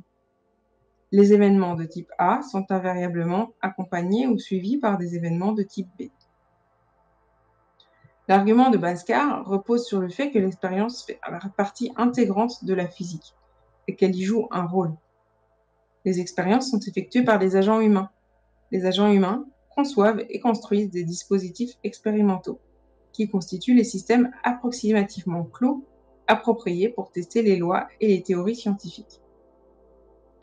Les événements qui se produisent pendant le déroulement d'une expérience, les impacts lumineux sur des écrans, les positions des aiguilles sur des graduations, etc., sont dans un sens provoqués par des agents humains. Ils ne se produiraient pas sans leur intervention. Mais si les conjonctions d'événements permettant de tester des lois sont, dans ce sens, provoquées par les agents humains, les lois que ces expériences permettent de tester existent en dehors de toute action humaine. Il m'est facile de modifier le déroulement d'une expérience par quelque intervention intempestive et de modifier par là même la conjonction d'événements que l'on cherche à mettre en, évidence. Mais en procédant de la sorte, je ne bouleverse pas les lois de la nature. On revient à ce côté, ce qui nous intéresse, c'est le, le fixe. Mm. Par conséquent, il doit y avoir une distinction entre les lois de la physique et les séquences d'événements produites dans l'activité expérimentale qui font preuve pour ces lois. Si nous voyons dans la physique la recherche de la vérité, les correspondances qu'elle contient seront fondamentalement différentes de celles qu'on trouve dans les énoncés concernant la blancheur de la neige ou la présence de chats sur les tapis. Schématiquement, on peut dire que les lois de la physique choisissent certaines propriétés ou caractéristiques qui peuvent être attribuées à des objets ou des systèmes dans l'univers. Par exemple, la masse, et expriment les comportements de ces objets ou systèmes eu égard à leurs propriétés ou caractéristiques. Par exemple, la loi de l'inertie. En général, les systèmes auront d'autres caractéristiques que celles ayant trait à une loi donnée, et seront soumis aux effets simultanés de ces caractéristiques supplémentaires. Par exemple, une feuille qui tombe est à la fois un système mécanique, hydrodynamique, chimique, biologique, optique et thermique. Les lois de la nature ne se réfèrent pas aux relations entre événements localisables, tels que des chats sur des tapis, mais à quelque chose que nous pouvons appeler des tendances transfactuelles. Oula. Ouais, bah là, euh, en fait, il est en train de recycler euh, ce qu'il euh, développait dans l'objectivisme, en gros. tu sais, quand il parlait, quand il parlait des propriétés qui sont indépendantes de l'humeur des savants et qui sont portées par les objets indépendamment des propositions. Je sais pas si tu te rappelles. Bah, en gros, c'est ça. Hein, ouais. Il a, trouvé chez Bascar et, c'est globalement la même chose. C'est marrant parce qu'à chaque fois, il, justifie quand même à chaque fois l'existence de lois euh, indépendantes de, euh, de l'activité des, chercheurs par cette activité elle-même, en fait. C'est ça qui est assez rigolo. Bref, on en a déjà parlé il y, a, une, ou deux semaines. C'est peut-être pas la peine de s'apesantir trop dessus. Ouais, et puis j'avoue que je suis pas tellement convaincu, donc ça me manque un peu. Prenons comme exemple la première loi du mouvement de Newton, qu'Alexandre Corée a décrite comme l'explication du réel par l'impossible.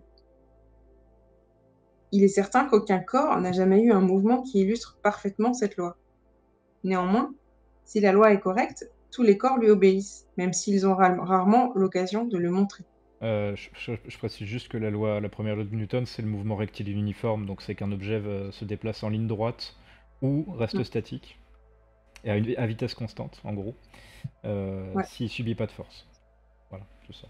Et que c'est un truc qu'on n'observe jamais euh, expérimentalement. Hein, mais... Euh. Oui, parce qu'il y a les frottements de l'air, parce qu'il y a d'autres trucs qui entrent en jeu. Les frottements de l'air, ou parce que toutes les trajectoires sur Terre, elles sont généralement finies, on peut pas observer une trajectoire infinie en ligne droite.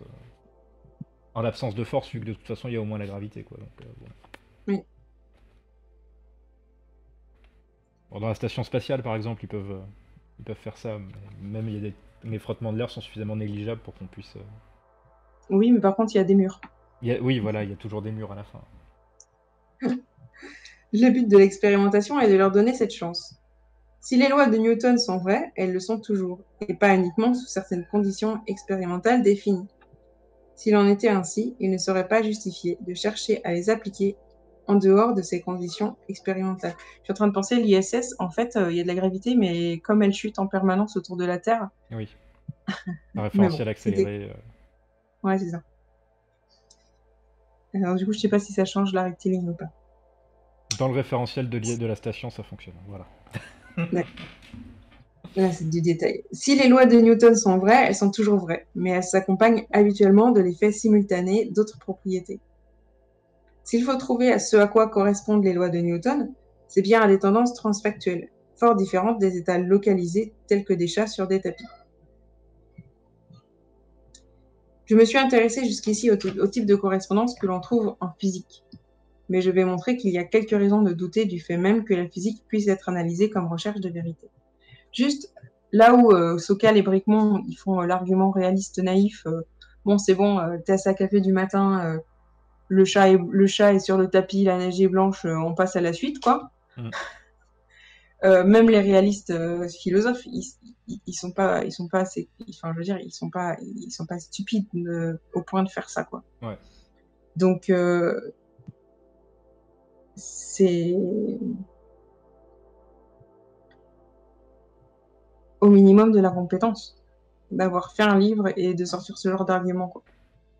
Bah, eux, ils disent qu'ils ont fait un livre euh, pour euh, remettre en question euh, l'utilisation abusive des, des trucs scientifiques. on, a pas, on, a, on a déjà montré ailleurs que c'était pas le cas quand eux ils s'attaquent effectivement mm. aux, gens qui sont critiques de la science et, du, et ils s'attaquent au relativisme cognitif, oulala. mais ce qu'on peut, ce qu'on peut, ce qu'on peut répondre aussi, c'est quand ils disent ouais, les gens qui remettent en question la science, ils ont qu'à sauter par une fenêtre du troisième étage, la fenêtre de mon bureau est ouverte, un truc comme ça on peut leur dire, euh, oui, enfin les gens ils n'ont pas attendu euh, Newton euh, et Galilée pour tomber par la fenêtre. Hein. Pour ne pas sauter par la fenêtre, oui, oui clair. Pour, ne, pour, ne, pas sauter par la fenêtre, pour, pour en tomber effectivement, oui, mais. Ouais. Et aussi, oui. non, mais c'est clair. Mais du coup, du coup, je veux dire, c'est, quand tu vois le niveau des arguments, alors que, euh, bah, avec un, petit, un minimum de compétences et de bonne foi, tu n'oserais pas sortir ce genre d'argument, en fait. Parce que même les réalistes, ils défendent, ils n'oseraient pas défendre ça comme mm. ça. Les réalistes compétents, je veux dire. Oui, parce qu'ils comprennent que ça n'a rien à voir avec le problème, quoi. C'est un argument de mauvaise foi qui, euh, qui, qui, qui, répond, répond pas à la question et qui, caricature la position adverse. Quoi. Ouais.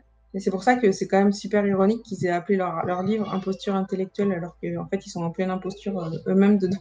Ah, moi je le trouve, euh, je le trouve super, bien, super bien nommé. Hein. Le seul truc c'est qu'il est. imposture est au pluriel.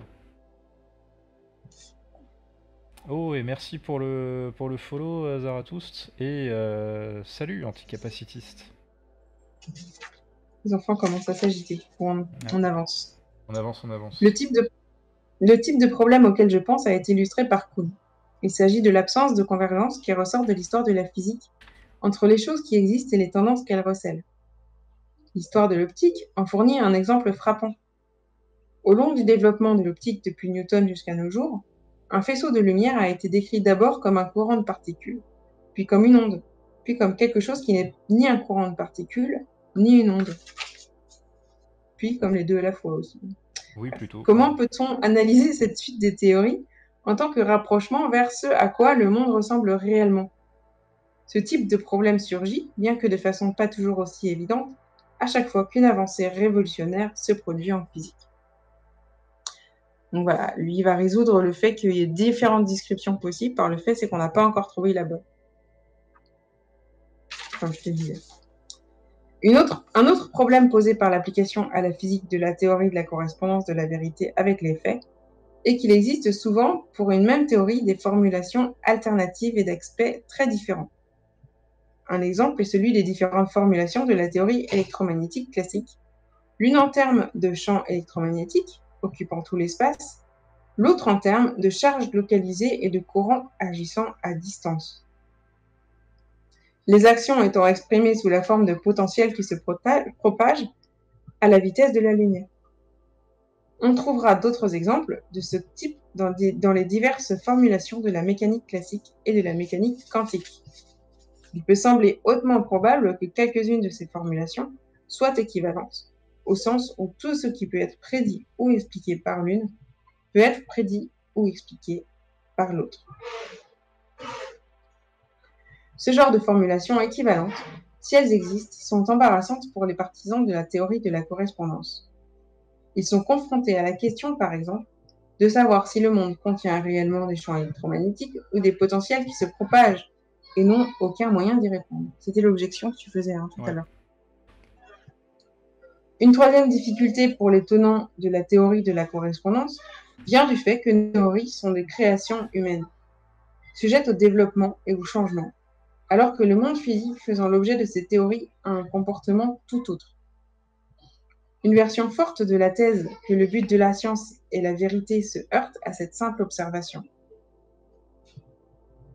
Du point de vue de la théorie de la correspondance de la vérité avec les faits, l'aboutissement idéal de toute branche de la science sera la vérité absolue ou objective. Ce sera la description correcte de cet aspect du monde dont traite cette branche particulière de la science. À l'exception de quelques éléments mineurs, comme les mots utilisés pour décrire des caractéristiques préexistantes de l'univers, l'aboutissement d'une branche de la science, la vérité, ne sera pas un produit social. Elle est ordonnée par la nature du monde avant même que la science s'y soit penchée. Si la science, qui est un produit social humain, devait atteindre un point d'aboutissement ainsi conçu, elle se métamorphoserait abruptement en quelque chose qui, au sens fort, n'aurait plus rien à voir avec une création humaine. Cela m'apparaît hautement improbable. Ça, c'est euh, plus effectivement le problème d'atteindre une vérité métaphysique avec euh, une création humaine. Bon, euh, mm. Même problème que les religions, pour le coup. Hein. Voilà. Donc, ce qui veut dire, en gros, c'est que, bah, évidemment, on va pas atteindre la vérité vraie, vraie, véritable, parce que c'est un processus et c'est la direction qui, mm. qui compte, c'est ça? Bah, euh, ce qu'il dit, c'est que euh, si l'objectif euh, de la science, c'est effectivement l'atteinte de la vérité, et que la vérité, on la définit comme ça, ça va coincer un moment, quoi. Ouais, c'est ça. c'est ça. Et Alors, là, c'est là qu'on retrouve la critique des experts nuanceurs parce qu'ils disent oui, d'accord, on peut pas aller jusqu'au bout de la nuance parce qu'au bout d'un moment, en fait, c'est un infini de loup. un peu ça. Et tiens, tiens, qui voilà, coucou Gaël. Il passe dans le Ah, chat. salut Gaël. Il s'est réveillé. Je savais, qu'il, je savais pourquoi il n'était pas là parce que je l'ai pu s'entendre. J'espère que tu t'es bien reposé. Mais euh, que- du coup, euh, pour répondre, euh, pour répondre à cet objet, à, à ce truc-là, qu'on peut pas, euh, on peut pas aller jusqu'au bout du bout de la description parce qu'en fait, sinon, bah, ça s'arrête jamais. Il y a personne qui défend de faire ça. hein. Il y a des quand, quand par exemple Umberto Eco il écrit sur cette question en fait de l'impossibilité de le faire. Justement, il dit ben en, fait euh, on fait des choix quoi.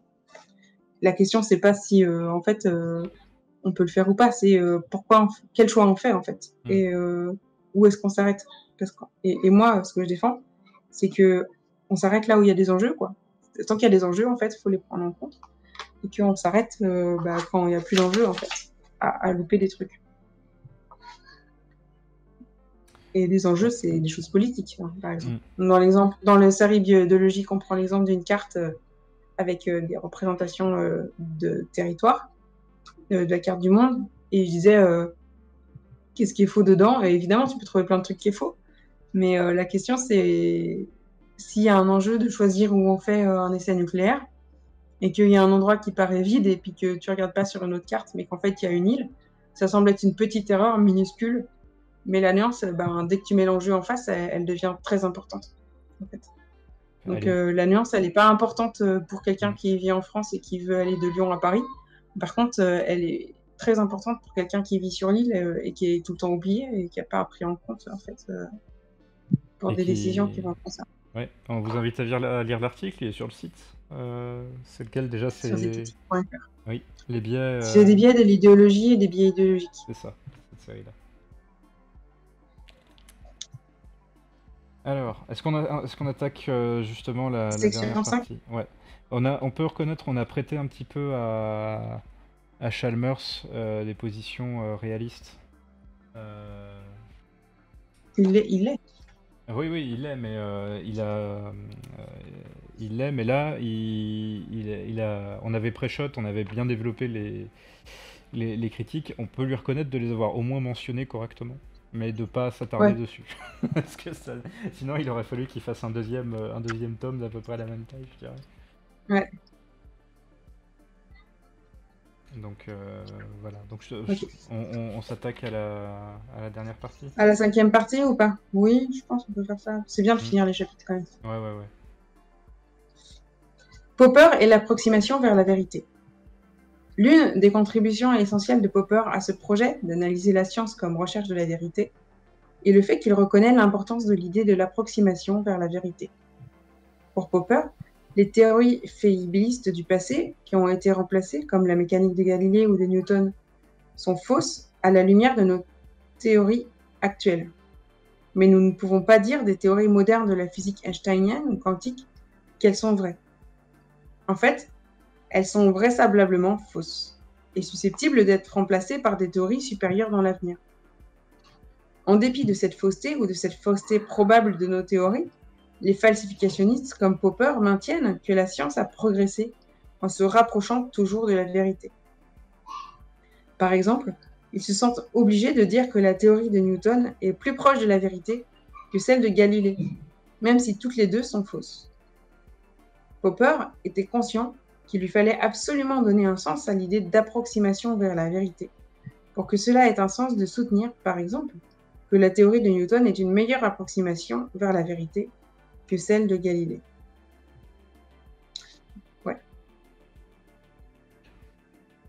Bah, Pas de commentaire Non, mais c'est euh, parce que euh, c'est marrant quand même parce que euh, il, il dit que Popper est effectivement réaliste, euh, patati patata. Euh, mais euh, comme il le disait tout à l'heure, euh, une théorie qui euh, décrit mal la réalité sous certains aspects, elle est forcément fausse. Mais comme j'ai dit, bah, ça veut dire que toutes les théories sont fausses. Oui. et, du coup, effectivement. C'est là qu'on voit que bon, les, les, les, différences de position, elles se font pas en fait à cette échelle parce que mm. là, ce qu'il dit, bah non, on est d'accord. Hein, je veux dire, moi je dis que la théorie de Newton, je vais pas dire qu'elle est plus vraie, je veux dire qu'elle est meilleure. Et la, la, raison pour laquelle je veux dire qu'elle est meilleure, c'est qu'il y a une meilleure adéquation entre la théorie et ce qu'on décrit et ce qu'on observe. Euh, donc, mm. ça correspond à ce qu'ils appellent vérité, en fait, l'adéquation entre ce qu'on observe et ce qu'on décrit, quoi. Euh, donc, en fait, fondamentalement, on n'est pas en désaccord, en fait, avec ça. Donc, c'est pas là qu'elles se font les, les, différences sur les positions, vraiment. Euh, par contre, je pense qu'il y a, elle n'est pas qualitative la différence, mais elle est quantitative. C'est-à-dire que eux, ils considèrent qu'on est presque à la vérité. Et ce qui est assez marquant, c'est que euh, quand tu vois euh, les gens qui sont réalistes, souvent ils, ils disent oui, historiquement, ça c'est vrai que c'était complètement faux. Mais maintenant, c'est bon, on est proche du réel. Ça veut dire qu'ils ont ils acceptent en fait que la science s'est trompée et qu'elle a fait vraiment des grosses plantages et qu'on a vraiment changé de complètement radicalement de vision en fait entre mmh. telle étape et telle étape euh, mais par contre, ils ont tendance à considérer que ça, ça y aura plus de renversement de la même euh, ampleur dans le futur. Euh, et que du coup, les renversements, enfin maintenant, on s'approche vraiment très près, près, près du, de la vérité, quoi. Et qu'on n'a plus que des, des, affinages à faire. Alors que nous, on va considérer qu'il peut y avoir des nouveaux renversements très très grands, en fait. Et que ça, c'est parce que, en fait, euh, même si on considère qu'on s'approche d'une meilleure description à chaque fois. Et encore, hein, il y a des gens qui diront qu'il y, a des fois, il y a des raisons sociales de changer de théorie euh, qui font qu'on n'a pas forcément de meilleures euh, descriptions. Mais on reste loin. Globalement, on reste loin. Ça veut dire que c'est comme si on se dirigeait vers l'infini, quoi. La description la, parfaite, elle serait, elle, elle est à, un horizon qui est très très très loin.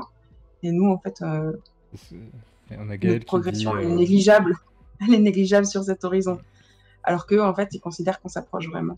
on, a, on, est, on, est déjà, on est vers la tangente déjà. On a Gaël qui, qui recite la citation d'Einstein, euh, comme quoi, oui, euh, la même chose. On ne peut pas. Oh là, on a, on a un raid de l'anti-stream avec 64 spectateurs. Quoi? Merci, merci. On est... Merci, merci beaucoup, on a bientôt fini. On, arrive au bout, malheureusement, c'est terrible. Mais, euh, mais bonsoir à tous et toutes. Bienvenue. Bonsoir tout le monde. Euh, Bienvenue. Merci pour le raid. Merci, merci pour le raid. Euh, pour celles et ceux qui ne sauraient pas, les jeudis, depuis un moment, on essaye de lire ce bouquin, Qu'est-ce que la science d'Alan Chalmers Oh là là, tac tac, voilà. Et on est à l'avant-dernier chapitre qu'on est en train de finir. voilà. Voilà, voilà. C'est une lecture commentée. On essaie de donner, euh, de critiquer, de d'expliquer, de, euh, voilà. on essaie de vulgariser ça. Euh, ne partez pas, ne désespérez pas. déjà parce que bah, il y a la fin à écouter. Ensuite parce qu'on revient la semaine prochaine avec le dernier chapitre. Mais si vous voulez, on a aussi une chaîne Twitch. Twitch. Vous êtes dessus. Une chaîne YouTube. YouTube sur lesquels on remet les lives euh, de, euh, des, chapitres précédents après avec euh, un tout petit peu de montage et d'édition pour essayer de rendre ça un peu plus audible. On essaye. Voilà, vous avez le nom normalement et tac tac. Ouais, vous avez les infos normalement. Si vous tapez ces, jolis petits mots sur Twitter et YouTube, vous allez nous retrouver. Voilà, mais faites ça uniquement si vous nous trouvez sympa. Hein. Ah Sachant que rien n'est monétisé. Hop, et euh, Pour l'instant, en tout cas, parce qu'à un moment donné, peut-être qu'il faudra qu'on paye euh, l'hébergement de notre site web qui est payé par une des personnes du collectif pour l'instant. Mais, euh, Oui. Mais sinon, pour l'instant, rien. Et du coup, bah, re-bienvenue à tous et toutes. Merci gentil pour le stream. Et comme le dit Emir, ouais, y a, y a... la barbe est un peu partie. la barbe en moins. Voilà, voilà. Alors ce sera un peu long de faire un résumé, mais en gros on a parlé euh, réalisme et instrumentalisme des théories scientifiques présentées par, euh, par Chalmers. Euh, mm. Voilà, voilà. Et si les mots-clés Karl Popper et vérisimilitude ou vérisimilarité vous, vous parlent, on est là-dedans pour conclure sur la manière dont Popper essaye de justifier donc une approche réaliste donc c'est-à-dire comme quoi les sciences décriraient le réel en, Mm. en justifiant leur approximation vers la, la notion de vérité dans la description du monde. Après quelques paragraphes qu'on a fait qui étaient bien chiants sur le- la théorie de la vérité correspondance. Voilà. Vous, vous verrez ça dans le replay. Euh, tac tac, je te propose qu'on avance, qu'on reprenne et Ouais, t'allais lire la citation d'Einstein euh, que Gaël a mis. Que, mais, que euh, Gaël a mis, bah ouais, mais le, le chat est parti en furie là, on a eu euh, 15 messages d'un coup. Euh, mais Ah, mais il disait ouais. juste la même chose que toi, euh, qu'on ne peut pas s'approcher de l'infini avec une croissance finie si grosse soit-elle. Oui. Donc euh, voilà. Ok, Là, je continue du coup. Popper essaya de donner un sens à l'approximation vers la vérité qu'il appelle la, qu'il vérisimilarité, en faisant appel aux conséquences vraies et fausses d'une théorie. Si nous appelons la classe de toutes les conséquences vraies d'une théorie son contenu de vérité, et la classe de toutes les conséquences fausses son contenu de fausseté, alors nous pouvons dire, en citant Popper, citation, si l'on pose que les contenus de vérité et les contenus de fausseté des deux théories T1 et T2 sont comparables, on pourra dire que T2 ressemble plus étroitement à la vérité ou correspond mieux au fait que T1, et seulement Si et seulement si et seulement si 1. Le contenu de vérité T2 est supérieur à celui de T1, sans qu'il en soit de même euh, de son contenu de fausseté. 2. Le contenu de fausseté de T1 est supérieur à celui de T2, sans qu'il en aille de même de son contenu de vérité. Si nous, poursuivons et supposons que la taille des deux classes est mesurable, hypothèse sur laquelle Popper a exprimé des doutes, nous pouvons dire que la vérisimilarité d'une théorie à quelque chose comme la mesure de son contenu de vérité, moins la mesure de son contenu de fausseté. L'affirmation qu'une science tend à approcher la vérité peut maintenant être réformulée en ces termes. Au fur et à mesure qu'une science progresse, la vérisimilarité de ces théories augmente régulièrement. Ouais. Alors, ouais, bah, on, on retombe sur la notion, euh, qu'il en discutait dans les chapitres d'avant, euh, de progrès avec une mesure. euh, enfin, de, l'idée que, comme quoi, la, la science peut que progresser, quoi. Ah oui. Ça, c'est, on retombe sur ce qu'il disait déjà sur Popper. Et pas de problème, Ah oui. Techno. tu repasses quand tu veux, tu regardes le replay quand tu veux. Passe une bonne soirée. Après le taf. On se doute que c'est difficile de se raccrocher au milieu du truc. et pas. Le repos, il vaut mieux se reposer que, euh, que se fatiguer le cerveau à nous écouter. Prenez soin Ouais, de vous. Non, non, non, et puis il faut prendre au début surtout. Aussi, Ça, oui. C'est c'est quand même technique du coup. Puis là, du coup, ça n'a pas l'air, mais on est vachement critique de ce qu'il est en train de dire en fait. Mm. Je ne pense pas que ce changement d'attitude permette à Popper de surmonter les objections à l'application de la théorie de la correspondance à la physique discutée dans la section précédente.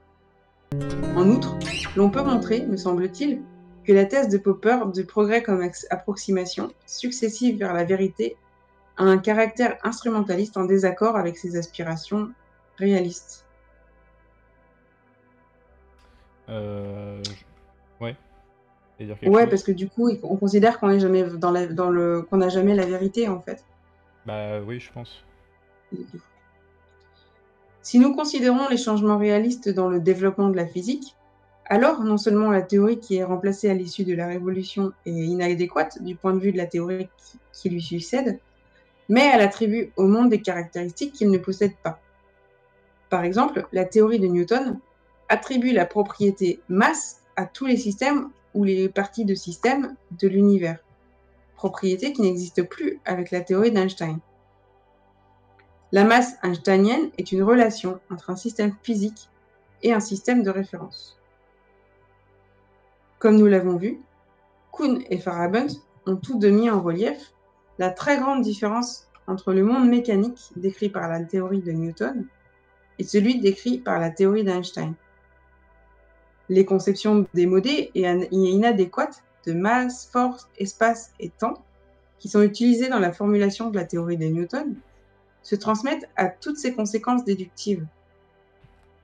Par conséquent, strictement parlant, si nous nous expérimentons en termes de vérité et de fausseté, toutes ces conséquences déductives sont fausses.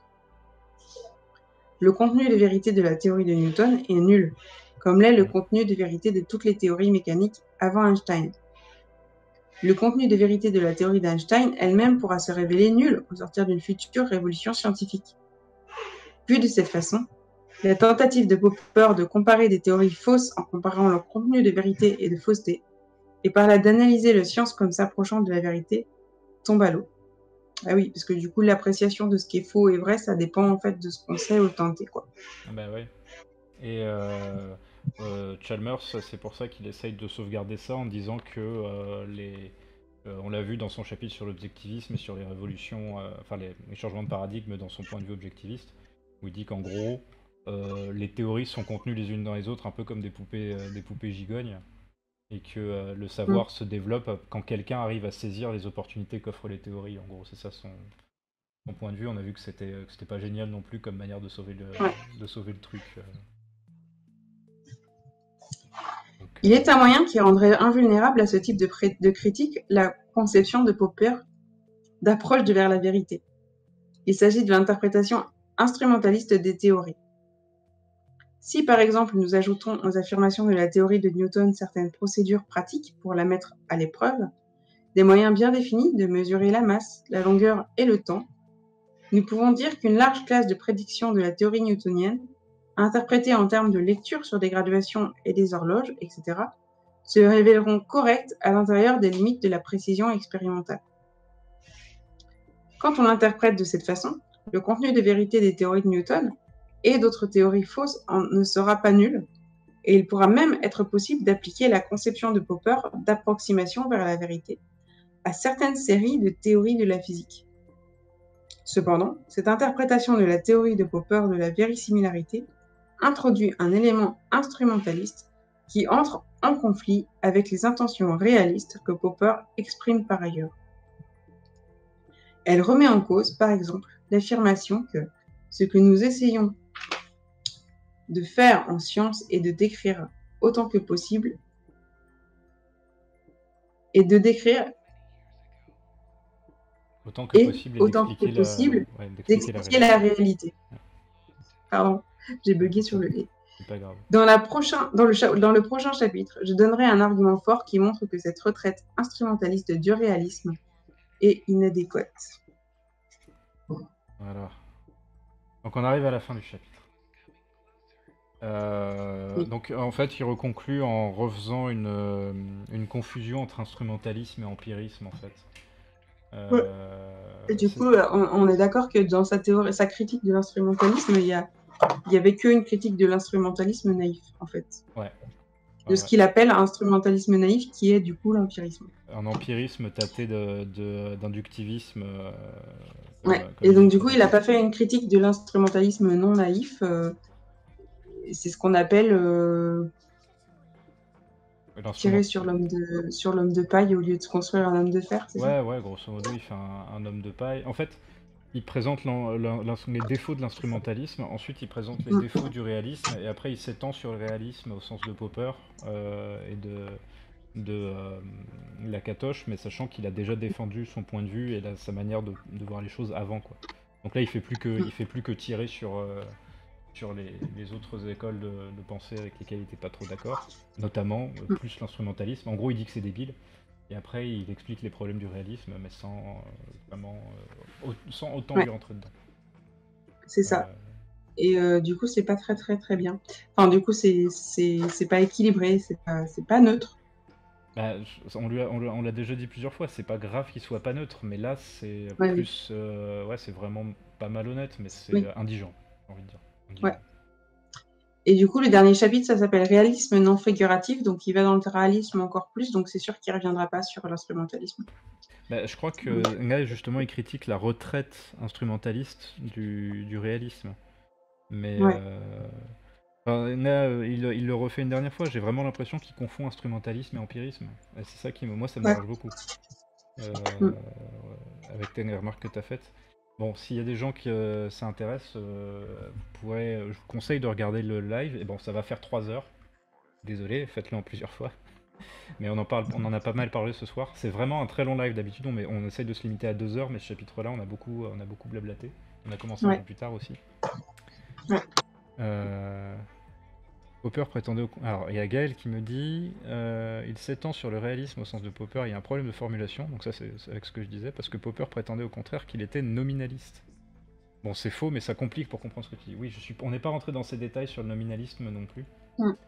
Mais... On, a, on, a, parlé de nominalisme en disant que c'était pas euh, que c'était pas clair comment il distinguait instrumentalisme et, et, nominalisme et aussi euh, relativisme. Mm. Enfin, en fait, que du coup, il, oppose réalisme et instrumentalisme, mais il parle pas en fait des autres euh, courants et on a du mal à savoir. Et, voilà, c'est. Je suis ouais. Alors là, on se retrouve à dire tous les mots techniques. Euh, N'ayez pas peur. on, pourrait, on pourrait expliquer à l'occasion. Là, euh, on est un peu crevé aussi. mais justement, euh, ce qu'on a à dire dessus, c'est que euh, il y a trop de mots et que en fait, c'est pas toujours, même pour moi, là, c'est pas super clair comment, à quel point ils se superposent ou pas. Et surtout, pour répondre à Gaël aussi, il faudrait, que je refasse un schéma. Mais Chalmers présentait aussi Popper comme, comme, comme réaliste, rationaliste. il le présente aussi un peu comme réaliste dans, son, dans son bouquin. Donc, à la fin, c'est normal. Moi, franchement, euh, je, relis, je relis ce bouquin. Je crois que je l'avais lu il y a 4 ans, un truc comme ça. Je le mm. relis après avoir lu d'autres auteurs. Et je crois que j'avais pas compris la première fois, en fait. la fin, en tout cas. Le début, le début ça va, jusqu'au chapitre, euh, ouais, jusqu'au chapitre 8 sur Kuhn.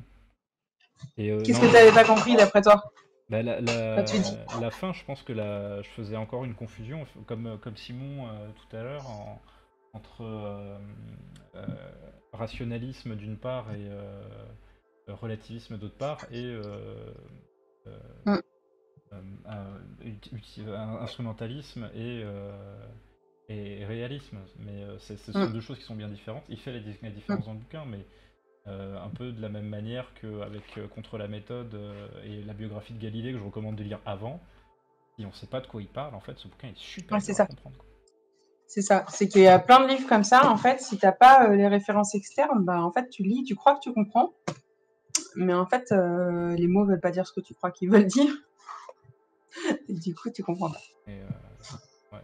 Et, comme tu dis, oui, voilà, il y a, c'est pour ça, on nous a demandé des références il n'y a pas très longtemps, et le problème, c'est que ça, ça dépend ce qu'on veut faire, mais si on veut, enfin, si on veut lire les auteurs, des fois, il faut, il faut vraiment avoir une bonne connaissance de ce qui a été fait avant et dit avant pour les comprendre, en fait. Donc, tu peux pas juste dire, ah bah tiens, je vais lire euh, tel livre euh, pour savoir ce qu'il pense, sans avoir aucune connaissance, en fait, euh, du contexte, du sens des mots, parce que c'est ça, en fait, ça change. Et du coup, tu crois que tu vas comprendre, mais ça marche pas.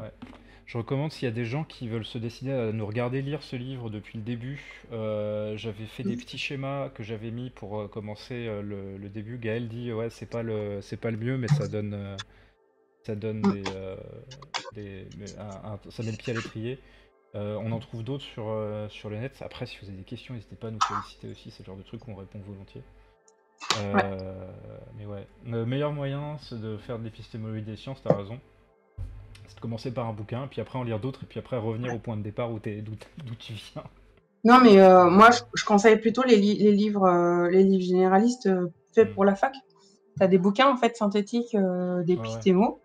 Après, évidemment, ils sont situés. Donc, enfin, quand je dis qu'ils sont situés, ça veut dire que les gens qui les écrivent, ils ont des positions épistémologiques et que ça va impacter, comme là, on a vu, hein, les mots, la manière dont ils décrivent ce que sont les réalistes. De notre point de vue, ça fait pas la séparation avec les autres positions. Mais euh, pour lui, oui, parce que du coup, euh, il a une compréhension différente de nous, des positions.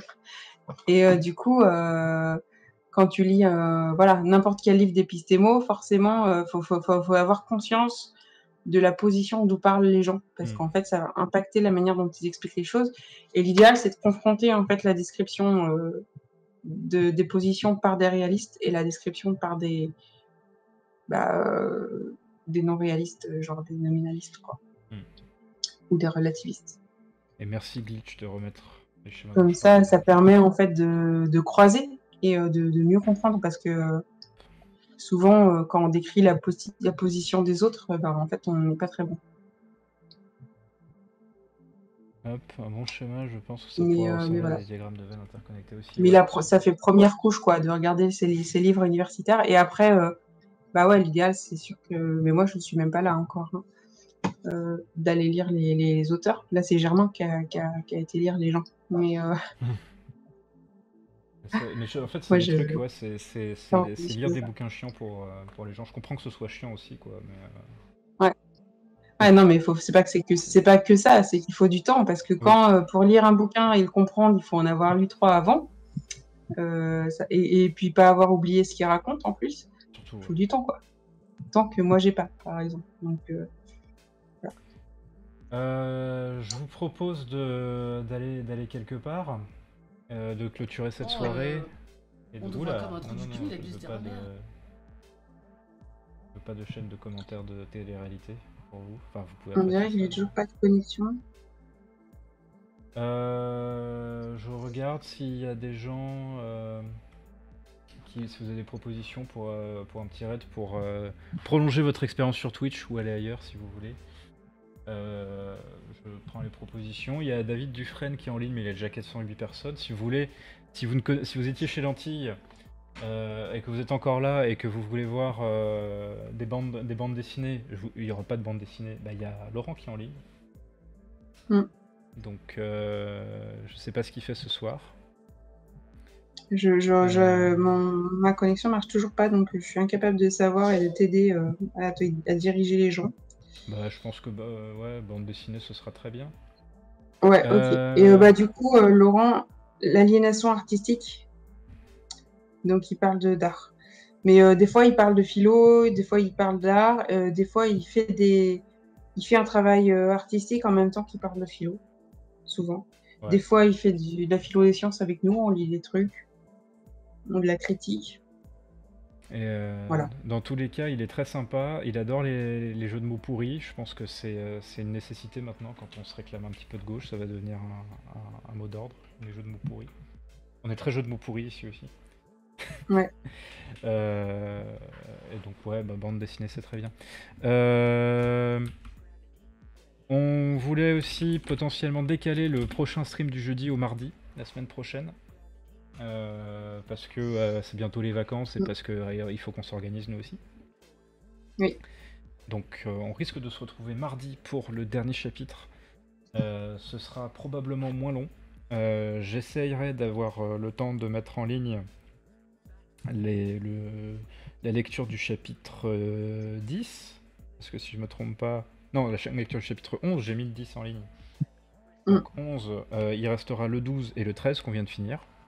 Et, euh, et voilà, on espère vous retrouver. On espère que ça vous intéresse. On espère que ça vous a plu. Ouais, ce sera court en plus la semaine prochaine, vu qu'il reste, euh, il, est, il, est, il est plutôt court, Ouais, le chapitre qui reste. voilà. Après, on papotera peut-être plus, mais... Hop, on, on pourra, on pourra peut-être. Dans tous les cas, notez la chaîne. On va essayer. On a d'autres ca- camarades du collectif qui vont essayer d'en faire des trucs. Euh, donc d'autres formats, d'autres lectures. On va essayer d'inviter des gens donc euh, pour après les vacances. Donc gardez ça dans un coin. euh, ça peut peut-être vous intéresser. Voilà. Voilà ce que j'avais à dire. Je vais essayer. Ouh là là, j'ai mon clavier qui me Né. Tac tac. Et voilà, ça, parfait, parfait, ça prépare, ça vous prépare tranquillement. Euh, et, euh, et merci à, à vous toutes et, et tous d'être venus. Et euh, on Merci. vous embrasse et je vous envoie vers un, un monde euh, imprévisible. on va le dire vite. Allez, Bonne soirée à tous. bonne soirée. Bye bye. salut.